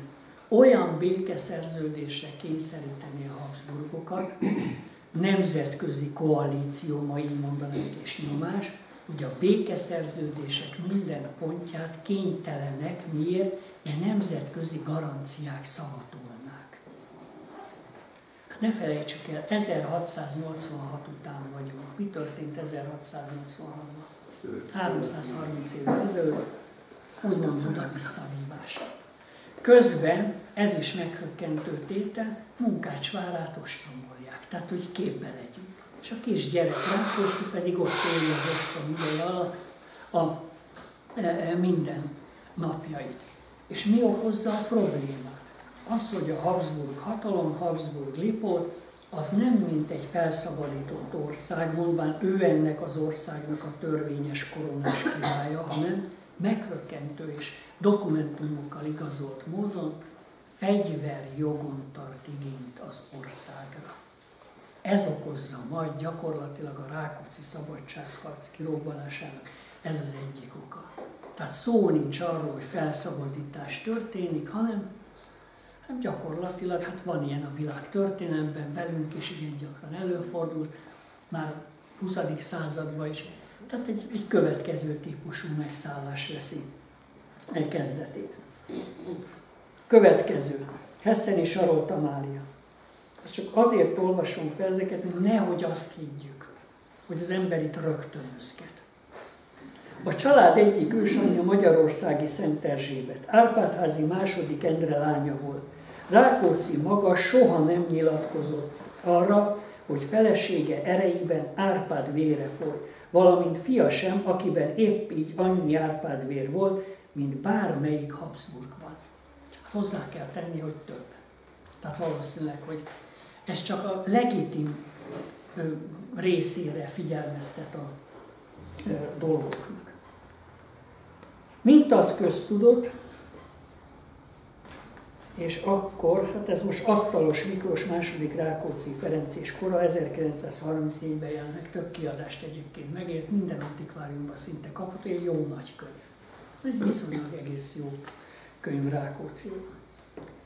Aztán Mészáros Kálmán, Seres István, Zrínyi Ilona, Rubikon 2014 második szám. A leghivatalosabb történész folyó, Rubikon. Tehát ennél Rubikonabb Rubikon nem lesz már a világban. Csak hogy fogjunk fel dolgokat. Ezt most magamnak mondtam. Mint az köztudott. Most mondom, beugrik valami? Mint az köztudott. Ha elkezdenénk egy magamat is beleértve, hányan tudnánk, hogy ez köztudott? Mint az köztudott. De állítom, hogy ki volt Jockey Ewing, azt azt tényleg köztudott. Tehát, mint az köztudott, hogy ősrégi magyar főúri családból származott, kicsoda, hát Zrínyi Ilona. Zrínyi Ilona. Ki Zrínyi Ilona? Átesünk a ló túlsó oldalára, és gyerekek, akkor kizrinyul, szedjük elő a tanulmányokat. Ő Rákóczinak, második Rákóczi Ferencnek az édes anyja. Tehát édes anyja. És most kiről van szó? Nem csak Zrínyi Péterről, Zrínyi Ilona édesanyjáról, nem csak Zrínyi Miklósról, Zrínyi Péter testvérbátyjáról hanem általánosságban Zrínyi Ilona származásáról. Na de ha Zrínyi Ilonának ez a származása, akkor Zrínyi Miklósnak, na? Nehéz, ne, ne, ne, nehéz fölfogni. Nagybátyja, hát az öccse lánya. Tehát és Zrínyiekről van szó. Mint az köztudott. Sőt, erejében az Árpádok vére csörgedezett, amint azt a kor ünnepelt költője is megfogalmazta, és Gyöngyös István, aki Ököl Imre és Zrínyi Ilona házasságának egyfajta udvari poétája volt, ezt írja Zrínyi Ilona jellemzéséről. Neme királyi vér, nem csak egy közváró. Tehát neme királyi vér, nem csak egy közváró. Tehát itt van gyakorlatilag 150 éven keresztül emberekben főúri, de mi az, hogy főúri? Hát az Rényi az tényleg régebbi idő óta főúri. Na de Rákóczi honnan jött? Honnan jöttek a Rákóczi? Hát Rákóczi Zsigmondra gondoljunk az elsőre. Honnan jönnek az Eszterháziak? Honnan jött Betlen Gábor? Megint nem tűnik föl valami? Akkor van demokrácia? Van demokrácia? És akkor jönnek a süket szöveggel, például az Eszterházi vagyon, hogy Eszterházi Miklós két jó házassága. Na de könyörgöm, megint csak vissza lehet kérdezni. Hát rangon alul, mondjuk egy, maradjunk a bárói titulusnál. Hát ki fogja mondjuk egy felkapaszkodott Miklós nevezetű felvidéki kisnemeshez hozzáadni a dúsgazdag lányát. Nem tűnik fel, ezek teljesen máshol gondolkodtak. Tehát nem a pillanatnyi gazdagság, hanem az ő családja most ugyan szegény. Valamikor gazdagabb volt, azelőtt megint szegényebb, vagyis mindenki ismeri mindenkinek a származását. És mindig mit néztek? Mert ez is benne van a pakliba, csak nem veszünk komolyan. Ha ők ketten összeházasodnak, mit nyer vele az egész nemzet és az egész emberiség? Tehát ez mit jelent? Tudják, ha Rákóczi Zsigmond még nem alapozta meg a Rákóciak híres család, de a feleségül veszi azt a nőt. Senki nem fogja a vagyont sajnálni. Miért? A nemzet tulajdonában vannak ezek a kincsek. És döbbenetes, hogy ezek a főúri, főúri rákon nem főúri családok ezek. Egyszer csak azzá lesznek. A kincsek nem őtőlük vannak, hanem a nemzet örökíti tovább. És hova csoportosít nagyobb mennyiségű kincset? Ahol nagyobb csoda várható. Tehát második Rákóczi Ferenc szinte még meg se születik, már biztosítják számára azt a hatalmas nagy kincset, ha egyszer a nemzet élére áll, akkor legyen miből gazdálkodni. Ez annyira tudott, hogy például Bátori Zsófia Munkács várában több rendbéli mennyiségű kincset rejtett el. Sokan feltételezik, hogy Rákóczi ebből tudta finanszírozni. Hadsereget kell kiállítani. Francia követ kérdezi meg, hogy miből fizeti? Honnan vannak? Önzetlenül saját vagyonukat mindig a haza megmentésének oltárán feláldozták. Következő. 1704 Bonak Márki, francia király lengyelországi megbízottja. Könnyen le fogja győzni, hát 1703 után egy évvel vagyunk, ha 1704. Könnyen le fogja győzni az eléje tornyosuló akadályokat. Visszaállítja a hazáját abba a szabad és független állapotba, amelyben a hunyadia korábban volt. Tehát ezek nem elképzelések részünkről, vagy visszasik, ezt mindenki így kezelte. Na innentől kezdve mondjuk egy Habsburg Liport türelme, azért gondoljuk végig az ő helyzetét. Hát ő ugyanúgy tudta. Nem dicsérni akarom, csak a megértés oda is kijár. Hát azért úgy uralkodni egy nemzet ellenébe, hogy tudja, hogy bármelyik család állíthat, mondjuk az ősi alkotmányos törvények alapján nemzeti királyt, hát ezt, ezt úgy nehéz fel, ma úgy mondanánk, nehéz feldolgozni. De ő próbálkozott. Tehát könnyen le fogja győzni az elé tornyosuló akadályokat, független állapotban, amelyben Hunyadia korábban volt, és befejezi azt a nagy művet, amelyet 200 esztendő óta egyetlen férfi sem tudott megvalósítani. Hát ő sem egyébként. De egy magas síkon ebből élünk. Szabadság eszmények, bátorság, kitartás, hozzáállás az ügyhöz. És Rákóczi gyönyörűen fogalmazza meg saját küldetésének lényegét, ezt ő maga mondja, többször leírja, vallomásokba, emlékiratokba, hogy ő miért jött. Miért jött. És nem azért, hogy király legyen. Gyönyörűen fogalmazza meg. A nemzet szívében már elhamvadt, hamvába hult a szabadság ismerete és szeretete.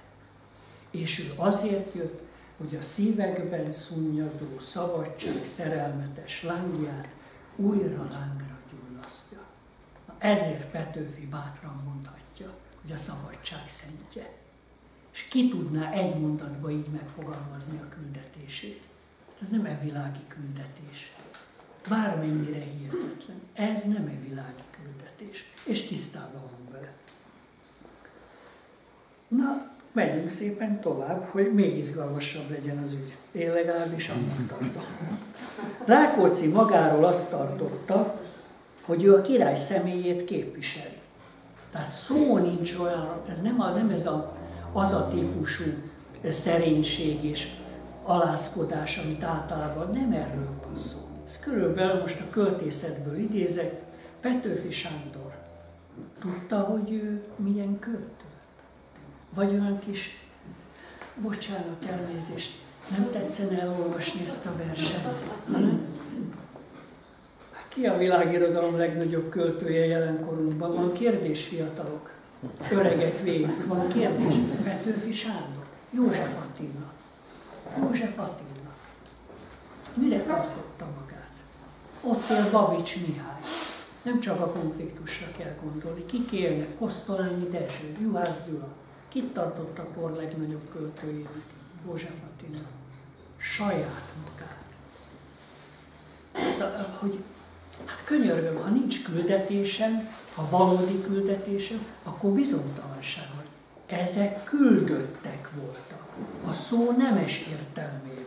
És tudták, hogy miért jönnek. Attól még meg kellett szenvedni. Csak nehogy már azt higgyük, hogy a küldetésük vonatkozásával ilyen pipogyal, nyámnyila halakokkal állunk. Hát szegény nem tudta. Aztán mégis az utókor rehabilitálta.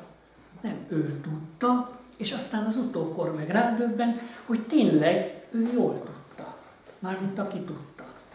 De Rákóczi magáról azt tartotta, hogy ő a király személyét képviseli. Most egy Ervárkonyi Ágnes tanulmány. A király személyét képviseli. Most a hivatalos jogrendben ki képviseli a király személyét? A nádor. A nádor is. Rákóczi nem volt nádor. Tehát vegyük komolyan, átvitt értelemben, hogy királyi személyiségűnek. Bár nem így szokták a szöveget értelmezni, én sem ezt javaslom, de mégiscsak a király személyét képvisel. Na de hogy? Hát Habsburg volt a király. Hát nem annak a személynek, hanem a szent korona méltóságában rejtező személynek, személyes jelenlétnek képviseli a személyét. Annélkül, hogy korona érintette volna a fejét, vagy látta volna szent koronát. Rákóczi magáról azt tartotta, hogy a király személyét képviseli ebben az országban. Az udvari tanács tagjai úgy tisztelték őt, mint királyukat. Ezt csak azért mondom, hogy kuruc. Nem már tudni, én sem tudtam, tehát most nem azért mondom. Rákóczi nem volt kuruc. Egyszer nem tűnik, hát nekem sem tűnt föl. Soha kerüli a kuruc minősítést. Miért? Mert van egy nevelőapja. Ő volt a kuruc. Ő ki? Tököli Imre. És Tököli Imrét nagy emberek nem tudta szívébe fogadni. Hát emberek is vagyunk.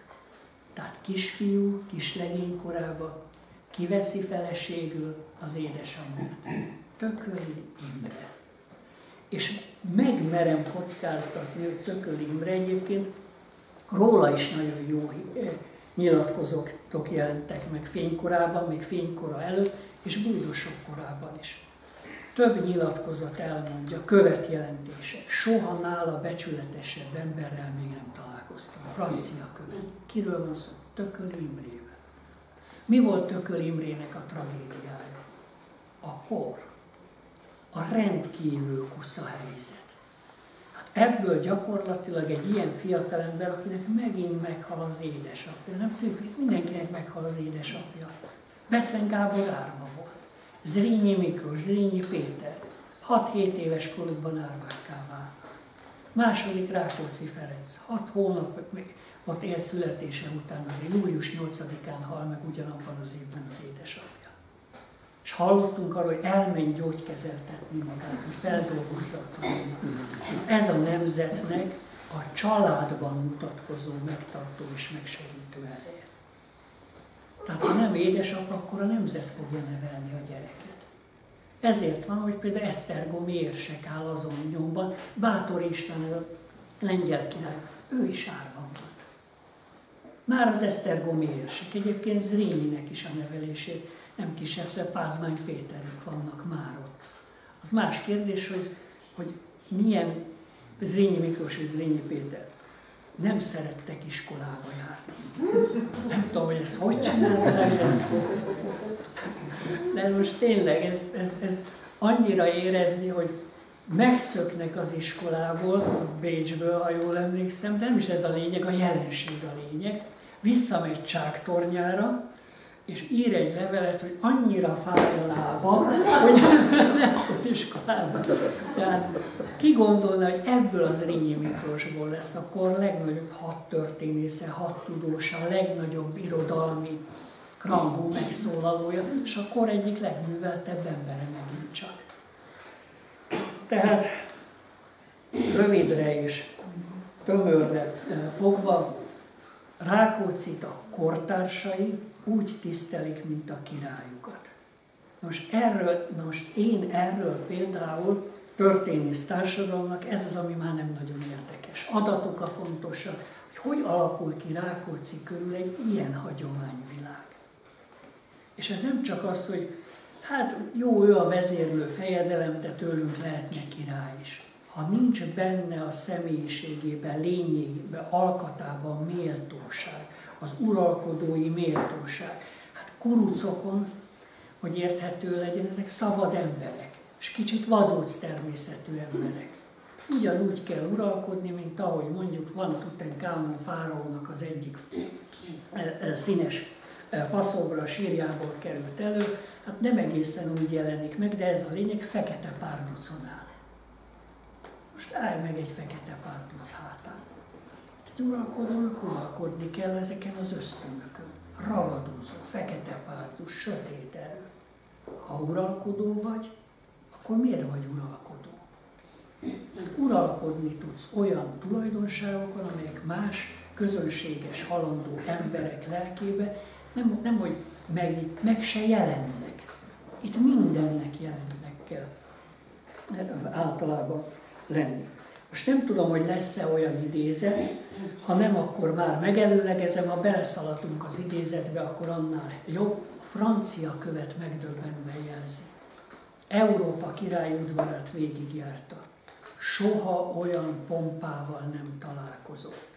Versailles-ban se. Kinek az udvara van? 14. Lajos.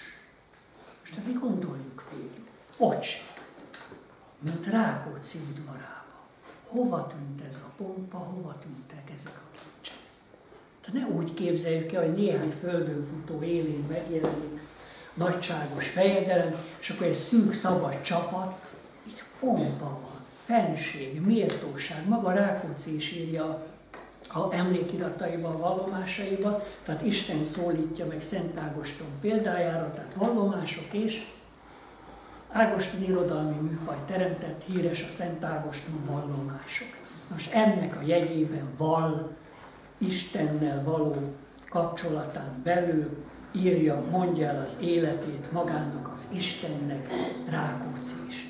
És megszólítja, hogy Uram, te tudod, hogy ez a pompa szeretet, ez nem pompa szeretet, ez nem majd, hanem ez nem ellened volt, vagy, vagy az én kapzsiságomnak, vagy, vagy ilyen ösztöne, nem hanem a méltóság követelte meg.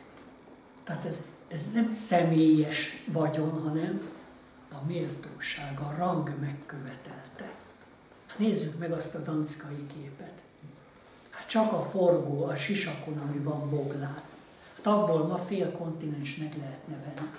És ezek ebbe öltöztek. Hova lett? Mert ez csak a éppen kezembe esett és a viseletén megjelenik. Rákóczi alakját a katonaság körében is körülfogta az élő Mátyás hagyomány. Na, itt jövünk a lényegre. Miért pont Mátyás? Most erre mit lehet mondani? Hát Mátyás címerében fekete volt a holló, a Rákóciak címerében fekete a sas. A fekete madár, fekete madár kiderül, én nem láttam, tehát hozzá kell, én ilyen címert nem láttam. Viszont vannak olyan történészek, akik meg Rákóczi Zsigmond, aki elindítja a családot fölfelé, leírja, a Rákóciak címere nem ez volt, hanem mi volt a címerükben? Fekete holló. Fekete holló. Tehát ez a következő hullámban, tehát a Rákóciaknak a ismeretlen, derengő, homály, nem homályos, még nem ismeretlen, ott még fekete holló van, és amikor úgymond az ismertebb, hát ismerték őt a kortársak, de amikor mondjuk egy történész is visszatekint, hogy igen, Rákóczi Zsigmond, aztán Rákóczi György, jönnek a Rákóciak, ott már fekete sas van.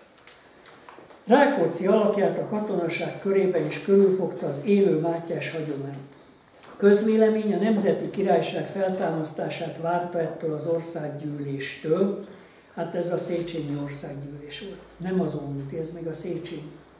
Rákóczi királyi pompával vonult le fényes udvari hadak kíséretében a Széchenyi várból. Következő idézet. Mátyás király hagyományai, most szokjunk hozzá, állandóan Mátyás király, Mátyás király, Mátyás király. Mátyás király hagyományai elevenednek fel Rákóczi fejedelmi udvarának nem csak külső fényében, hoppá. Rák, Mátyás, külső pompa és fény Rákóczi udvarában. Királyi pompájában, hanem udvara szellemében és uralkodói ténykedéseiben is. Mire várnak? ezeket az állításokat példákkal alátámasztani. A állítások tények, és milyen gyönyörű lenne, ha valaki tényleg nekiállna, és ennek a szellemében adna egy korképet és körképet. Mondjuk akár a nagyságos fejedelemről, hogy miért ő a nagyságos fejedelem. Milyen álmoknak a megtestesítője. Rákóczi uralkodását az országos közvélemény úgy illeszti be a magyar történelem folyamatába, hogy őt Mátyás királyhoz hasonlítja. Következő idézet. Rákóczit környezete is Mátyás királyhoz hasonlítja. Azért olvasok ennyi példát, szokjuk hozzá, hogy teljesen tudott jel. Na de nem te, miért könyörgöm? Mi a búbánat rejlik itt a háttérben? Cegei Vas György, Kolozsvári vicekapitány. Ki ez a Cegei Vas? Vas Albert családja, Cegei Vas György, ez ugyanaz a család, Vas Albert, merjünk magyarok lenni. Ki kicsoda a magyar történelemben? Miért nem gróf volt Vas Albert? Lehet, hogy én fejemre ejtettek valamikor, de ő a Cegei Vas családnak a leszármazottja. Arisztokraták. Ugyanilyen arisztokrata, Hát akkor hagyjuk. Tehát van a irodalom történet vonatkozásában.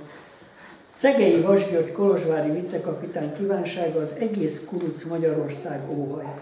Adná meg az Isten neki Mátyás király egész birodalmát. És hogy követik? De ez, ez inkább csak egy jelzés.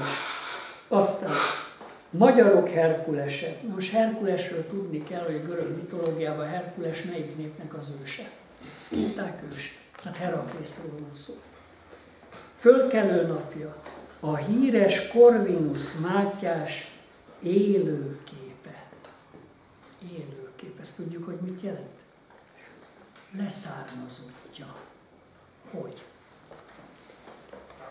Na most nem tudom, hogy itt voltunk-e akkor, amikor nem voltunk. Mert kiderül, hogy akkor nem vagyunk itt. Hunyadi János származásának vonatkozásában úgy emlékszem, hogy felolvastam egy bizantológus által, Moravcsi Gyula által közzétett himnikus költeményt, amelyik Hunyadi Jánosról szól. Na most mi volt ebben a költeményben?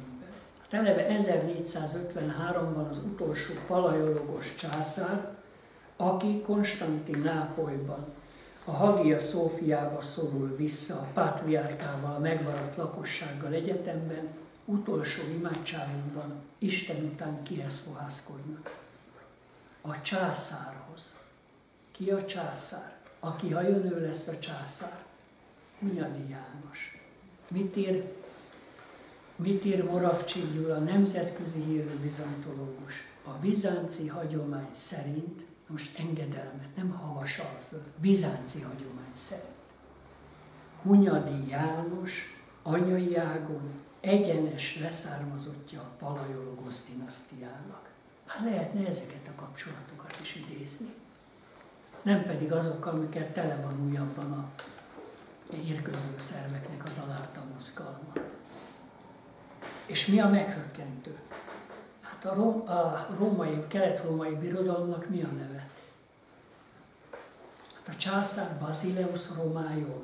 A országot hogy hívják? Románia. Na így kell csinálni. És tulajdonképpen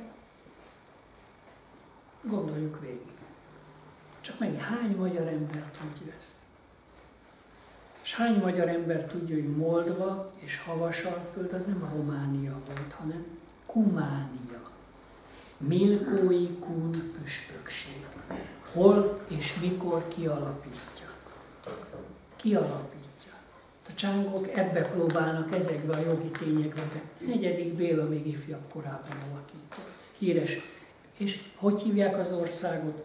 Kumánia, vagyis Kúnok országa, Kunország. Na, azt hiszem leteszem.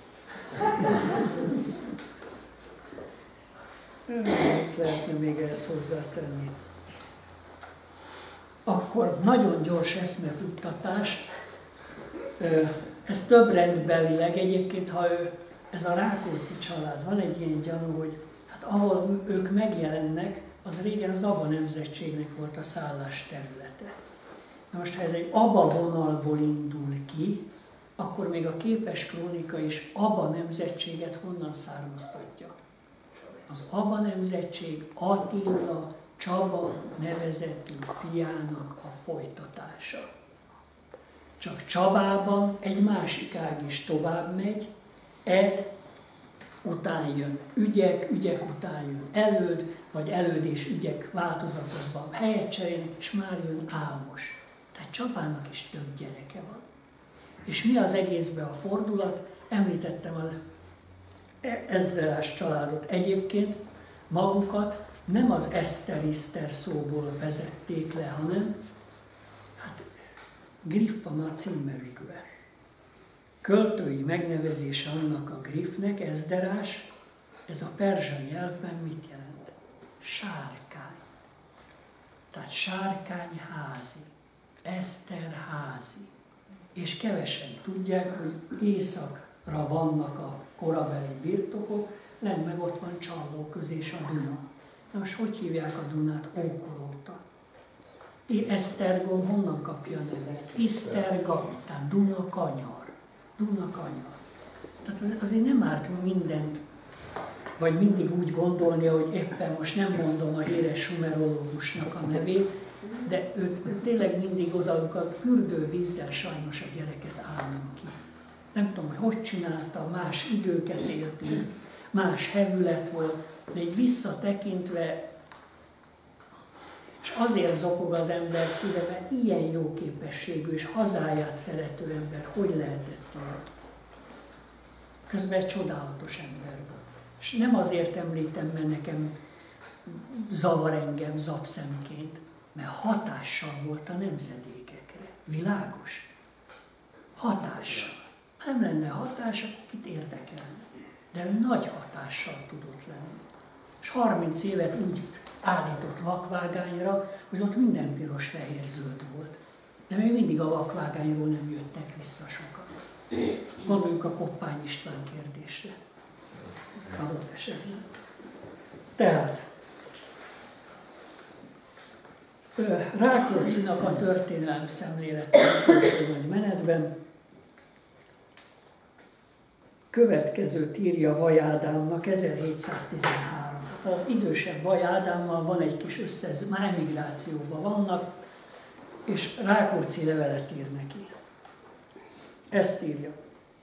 Nimrodtól fogva nem volt fejedelem, aki szívében jobban elismerte volna valakinek a hűségét. Ez mint egy példabeszéd lenne.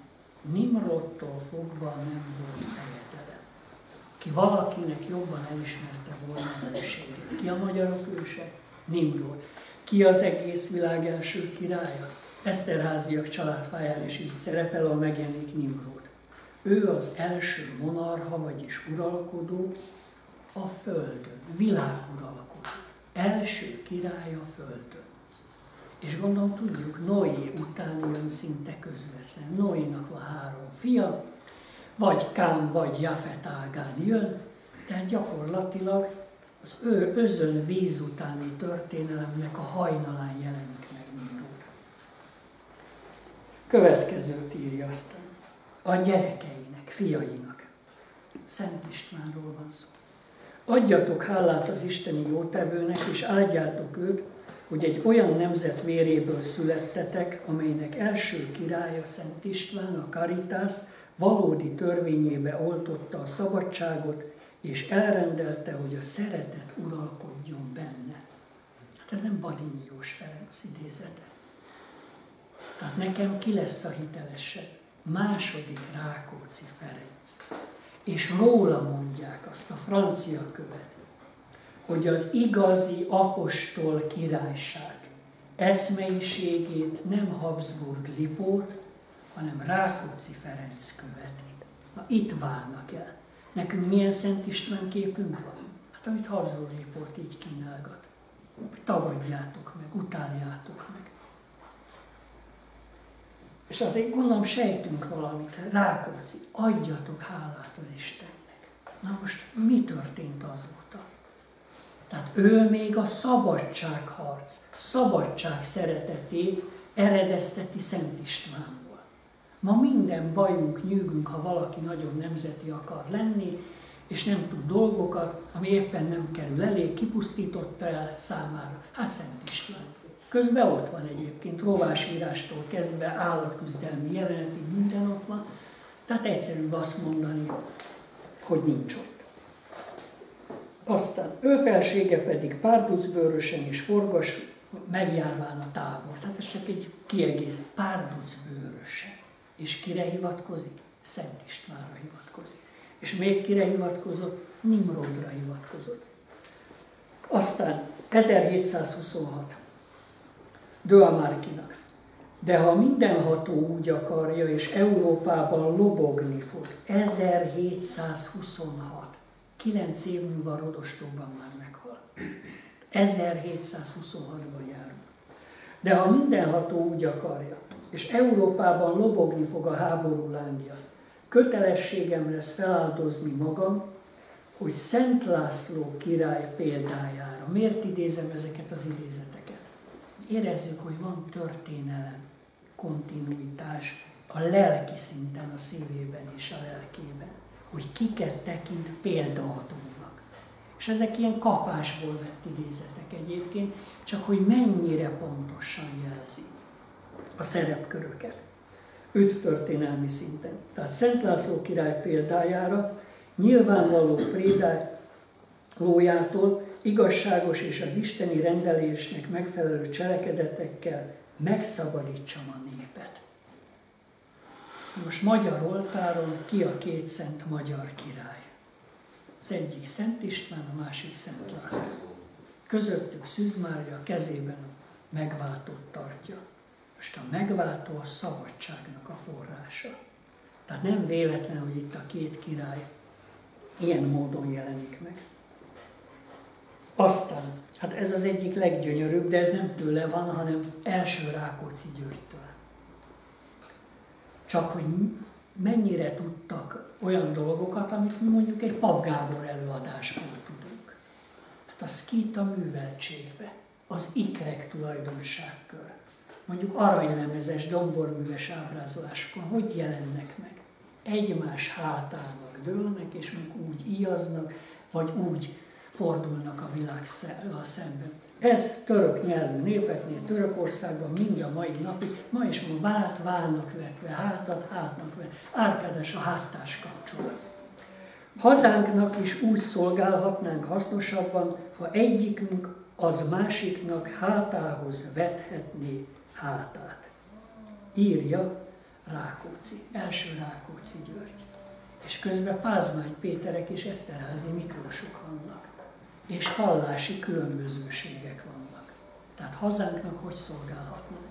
Ha a humor magyar őspárosnak megfelelően alakítanánk a pillanatnyi életben a kapcsolat rendszert. Utolsó szó jogán 1704-ben magyar elégedetlenek kiáltványa, hát ez rossz fordítás nyilvánvaló módon, Rákóczi törekedett arra, hogy holland nyelven, francia nyelven, svéd nyelven, görög nyelven, latin nyelven, német nyelven, lengyel nyelven, vagyis nem azon sopánkodott, hogy mit ír rólunk a világ sajtó, hanem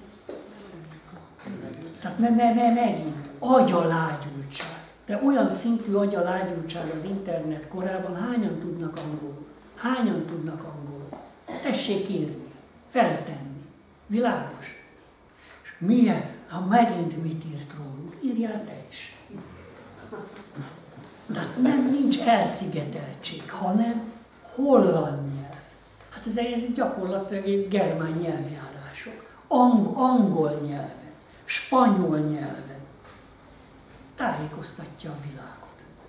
És azért nem árt tudni, hogy amikor úgy kell tájékoztatni, hogy ők is megértsék, akkor nagyon oda kell figyelni, hogy mire helyezzük a hangsúlyt. Egy biztos ma, egy oldalba Állítom, hogy nem tudnánk a bajainkat így megfogalmazni. Nem is a bajaink, mert ez könnyű. Az, hogy kik vagyunk. Mióta vagy. Egyáltalán hol a hazánk. Na érdemes megint odafigyelni. Zseniális egyébként. Nemzetünk ősi, mint az ország, amelyben élünk. Egyszerű. Nemzetünk ősi, mint az ország, amelyben élünk. 1700 Leszármazottai vagyunk a régi panonoknak, na most kevesen tudják, én sem, én is a kevesen tudom. Táborát nem népesítettem, hanem annak idején, még az 1990-es évek, 96-ban, hogyha jól emlékszem, Szörényi Lászlónak, irodalom történésznek megjelent egy könyve Hunok és jezsuiták. Na ő a jezsuita költészetet, miért? Mert a jezsuita, miért hunok? Kiderül, hogy 17., 18., 19. század és a 18 ha elmegyünk, jezsuiták. Tehát jezsuiták. Magyar jezsuiták. Ki van a történelem szemlélet központjában? Attila a magyarok első királya. Tehát van ilyen is. Hát ez, ezek még ezen a szinten is hazafiak voltak. Most a hazafi az nem azt jelenti, ezt jelenti, tudja, hogy ki, ki mi az, hogy magyar. És a jezsuita költészetben dokumentáltan megjelent, mert senki nem tudja, hogy Pannonia honnan kapta a nevét. Ez ami Buda honnan kapta. Hát én tudom, hogy Attila testvére Buda, újjáépíti Szikambriát és Budának hívják, egy dolgot nem tudunk. Na de Buda honnan kapta a nevét? Na honnan kapta a nevét? Felolvastam, ne csináljunk úgy, mint hogyha nem. Galeotto írja le Mátyás idejében. Buda vára honnan kapta a nevét? Budáról. Ki ez a Buda? A hindu vallásnak a megalapítója. Ennyi. Na most megint a probléma. Itt vagyunk Buda Pest. Nem úgy hívjuk, hogy Budapest, hanem Budapest.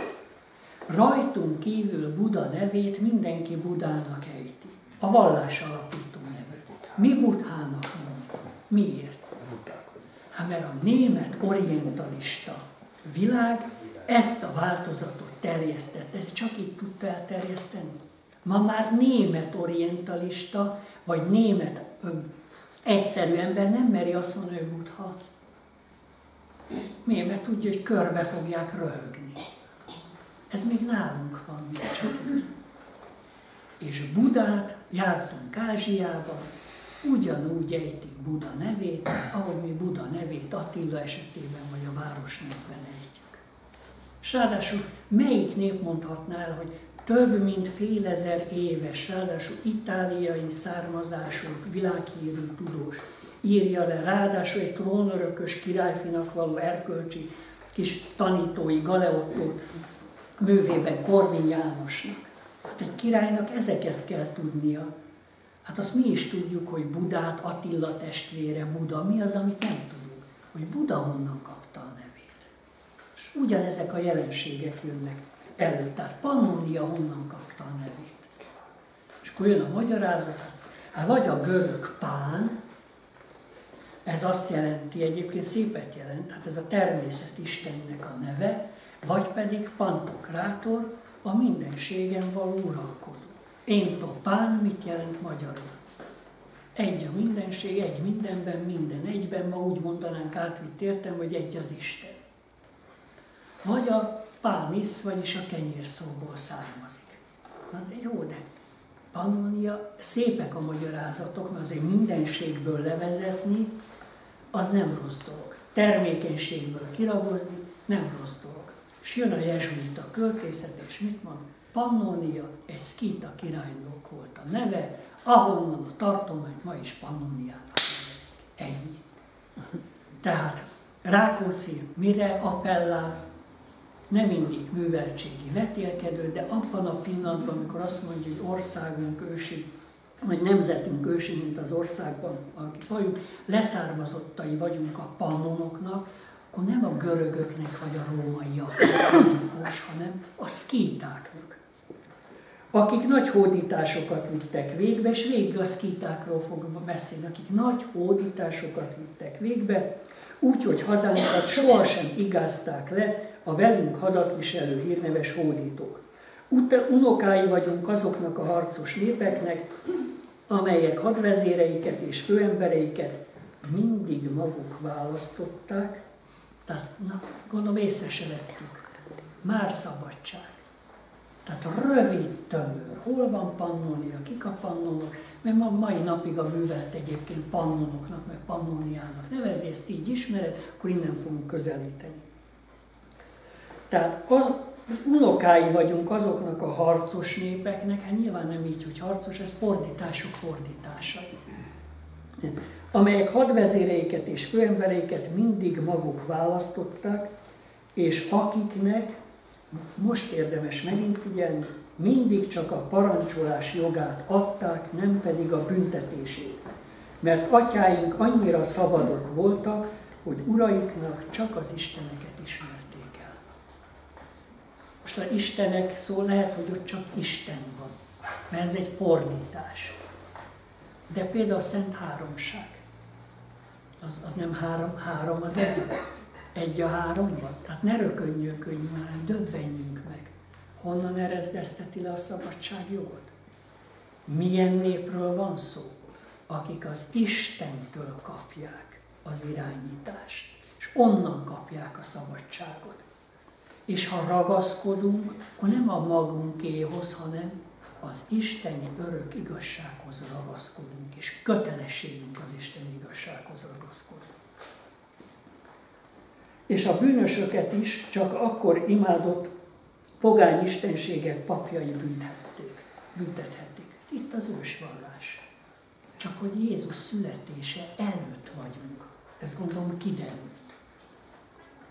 Remélem kiderült.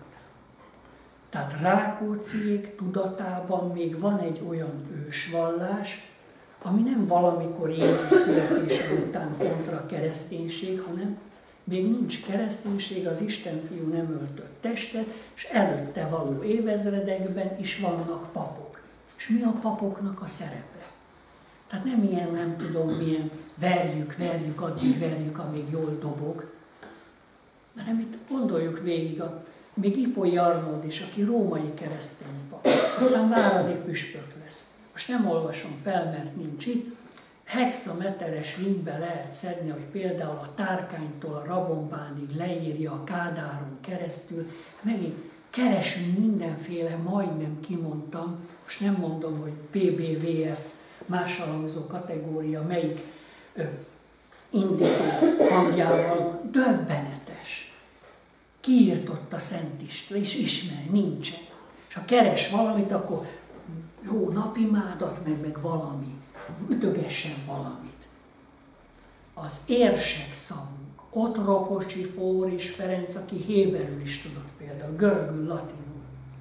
Rá másfél évszázadra pedig Ipoi Arnold, aki várat püspöke lesz, mit ír? Az érsek pogány papi nevezet. Fölfogjuk, hogy ez mit jelent? A legmagasabb egyházi méltóság neve az gyakorlatilag keresztény vallás előtti korból származik. Na de a karácsonyja mi a helyzet? Többit nem is részletezem. De hát egy a fontos, augusztus 20-án az ünnepműsor. Mert ott mindenki megkapja magát. Csak súgva mondom, én gyerekkorom óta látom, azóta lényegében nincs változás.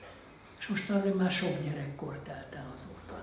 Ez csak úgy érdekességként mondom. Ugyanaz. Na most, és azért gondoljuk végig, hogy ősvallással annyira fog a szabadsággal. Itt van Rákóczi. Pontosan tudja, hogy ki Attila.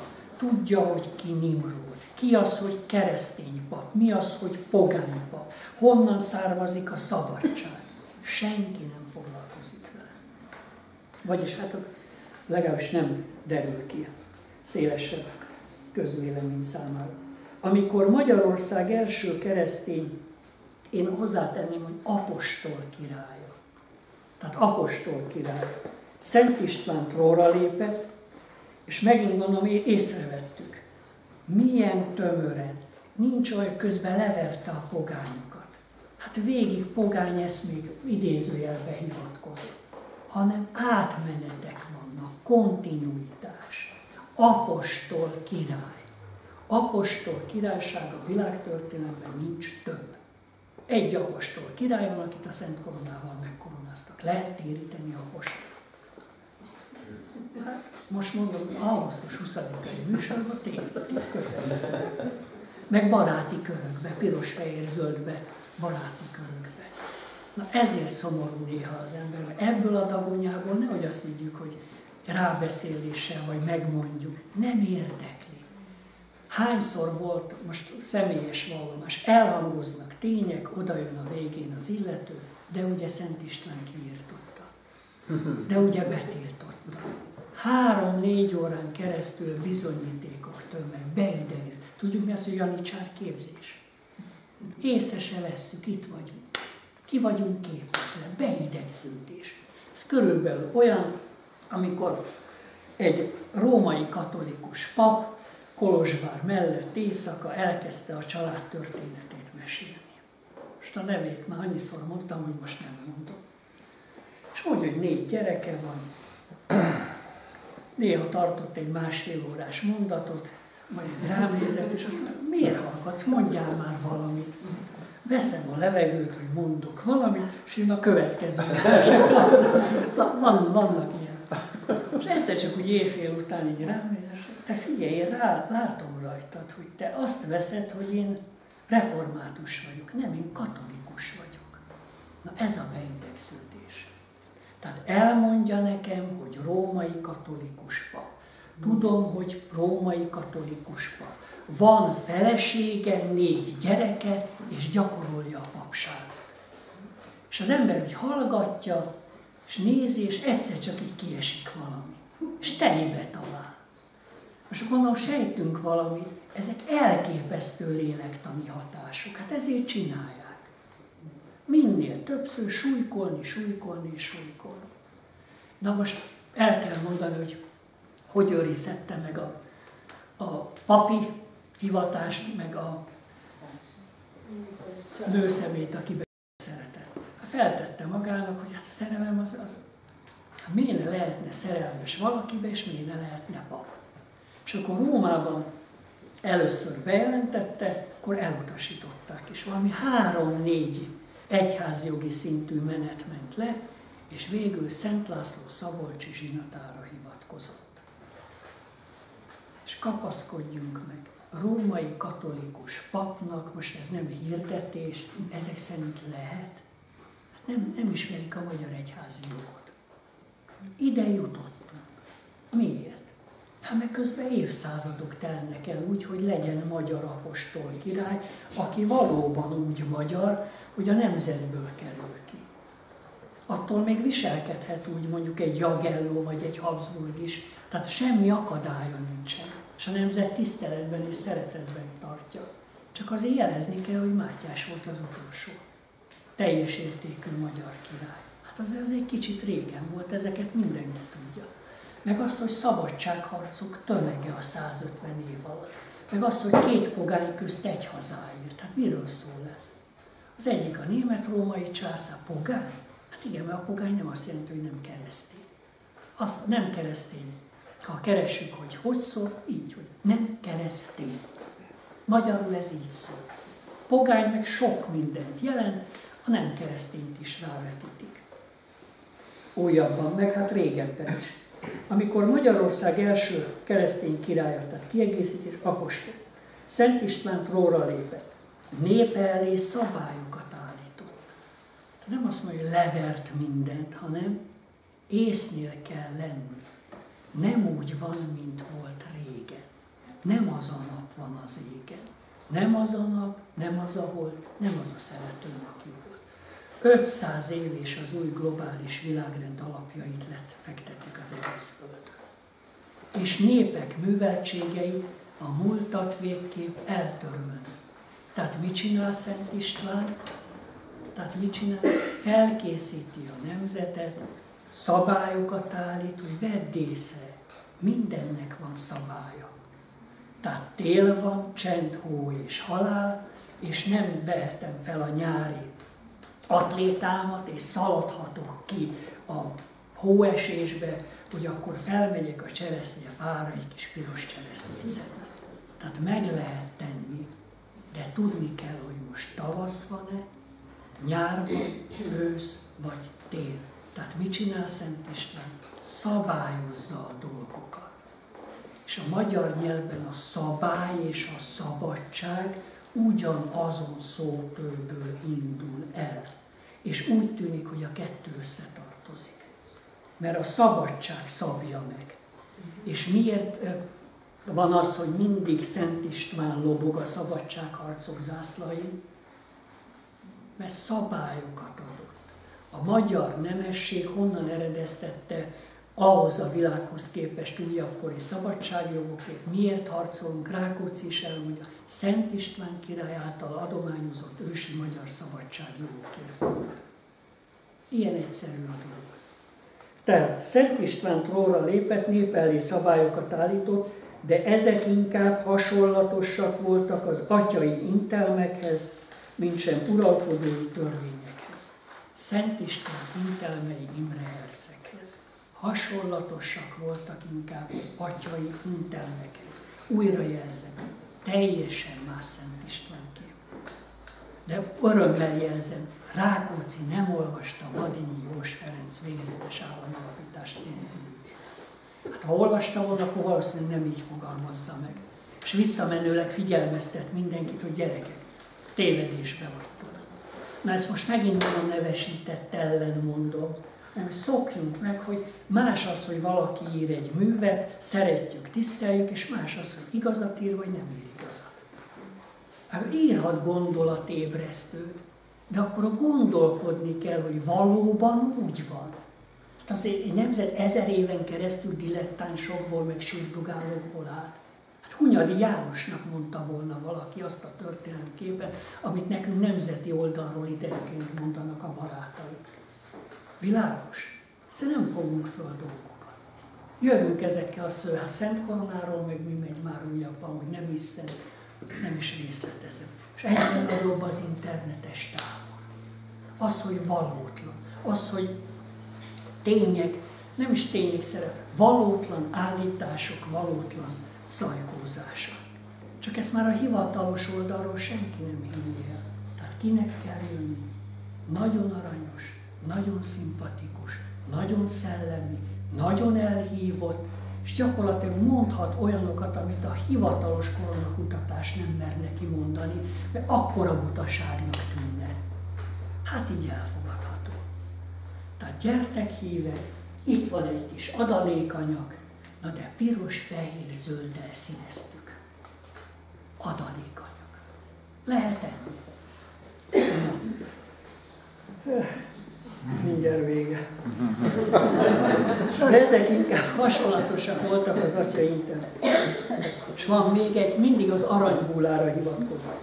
Második András király trónra lépvén nem csak megerősítette a királyság valamennyi törvényét, hanem egyensúlyt is akar teremteni a királyi hatalom és a szabadság igazsága között.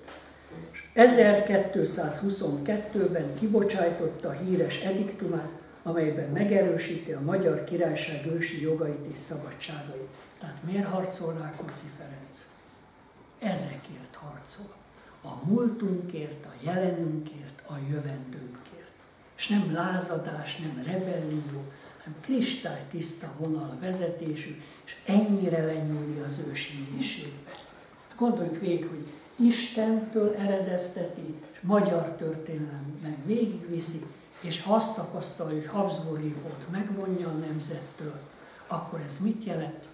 Aranybúla záradéka értelmében a koronás király véd a korona törvényei, szent korona törvényei a szabadsággal szemben, akkor a nemzetnek ismert a tétel, nem lehetősége, hanem adott esetben kötelessége a Szent Korona jogait, a szabadságot, ha máshol nem megy, utolsó érvként fegyverrel védelmez. És végül, ez majd egy következő alkalom lehetne, 1705-ben írja. Azon fáradozunk, hogy hazánk szabadságának visszaszerzésével nem csak a nemzetnek, de az egyetemes Európának és az egész kereszténységnek szolgálhassunk. Döbbenetes a megállapítás. Gondolom érzékeny, döbbenetes. Smolnárvi József szeret, szereti így mondani, hogy döbbenetes, én is szeretem, mert tényleg döbbenetes. Hogy milyen egyetemes távlat. Hát senki ne gondolja már, hogy itt egy, egy magánügyekről van szó. Európa jövője. Tehát mit mondta az Rényéről? Az egyetlen, aki megmentheti Európát. Mirákóczi idejében a tét nem csak számunkra, rabok legyünk vagy szabadok. Milyen Európa lesz a jövő Európája? És utána vannak hullámzások, és a mostani helyzetet nem is érintem. Hogy egy kicsit a Habsburg Lipotról is szóljak, de nem azért, mert nem lehetne jót mondani, hanem ekkor ez történik. Ervárkonyi Ágnes, Közép-Európa második Rákóczi Ferenc politikájában című munkájából. Talman Konstantinápolyi követét utasította Habsburg Lipot, érje el akár Magyarország déli részének felajánlása árán is, hogy a törökök támadják meg Rákóczi hadait. Erről ennyit. Mert mostanában megint irányzatok vannak, hogy a Habsburgok akkor jók voltak, nem voltak jók. Ha jó volt, jó volt, ha nem volt jó, nem volt jó. Egy biztos, a szabadságharcok nem véletlenül robbantak ki. Mert a nemzet a legkisebb gesztusnak. Hát majd jön Lipót fiától, Józseftől. Gesztus. Rákóczi már azon nyomban képes lenni a kompromisszumra. Csak nem a megalkuvásra. Tehát ő mit tart fontosnak? Ha adva van a koronás király, ha a koronás király betartja a nemzet törvényeit, akkor nincs okunk harcolni. De van még egy kitétel. Erdélyi fejedelemséget fenn kell tartani. Tehát, amíg nem tisztázódik a helyzet az országon belül, az erdélyi fejedelemséghez ő ragaszkodik. De most ez viszont nagyon jó érzékelhető módon egy olyan pillanat, amit pontosan tud mondjuk a Habsburg Kamarilla is, hát hogyha Rákóczi megmarad az erdélyi fejedelemségben, akkor az abszolutizmusnak és a fegyverrel vett jogon országot meghódító zsarnokságnak semmiféle esélye nincsen. És kevesen tudják, hogy Erdély leválasztása ekkor történik a Rákóczi szabadságharc után. Hát 1848-12 pont. Mi az utolsó? Úr, kivel? Hát Erdélye. Tehát itt azért a trianoni etapok, három részre szakad az ország, Erdélyt közigazgatási szempontból nem nagyon akarják. Hát azért itt vannak munkálatok. Meg hát az is jó munkálat, hogyha én most már befejezem, de majd 15-én folytatjuk a következő témával. Köszönöm szépen!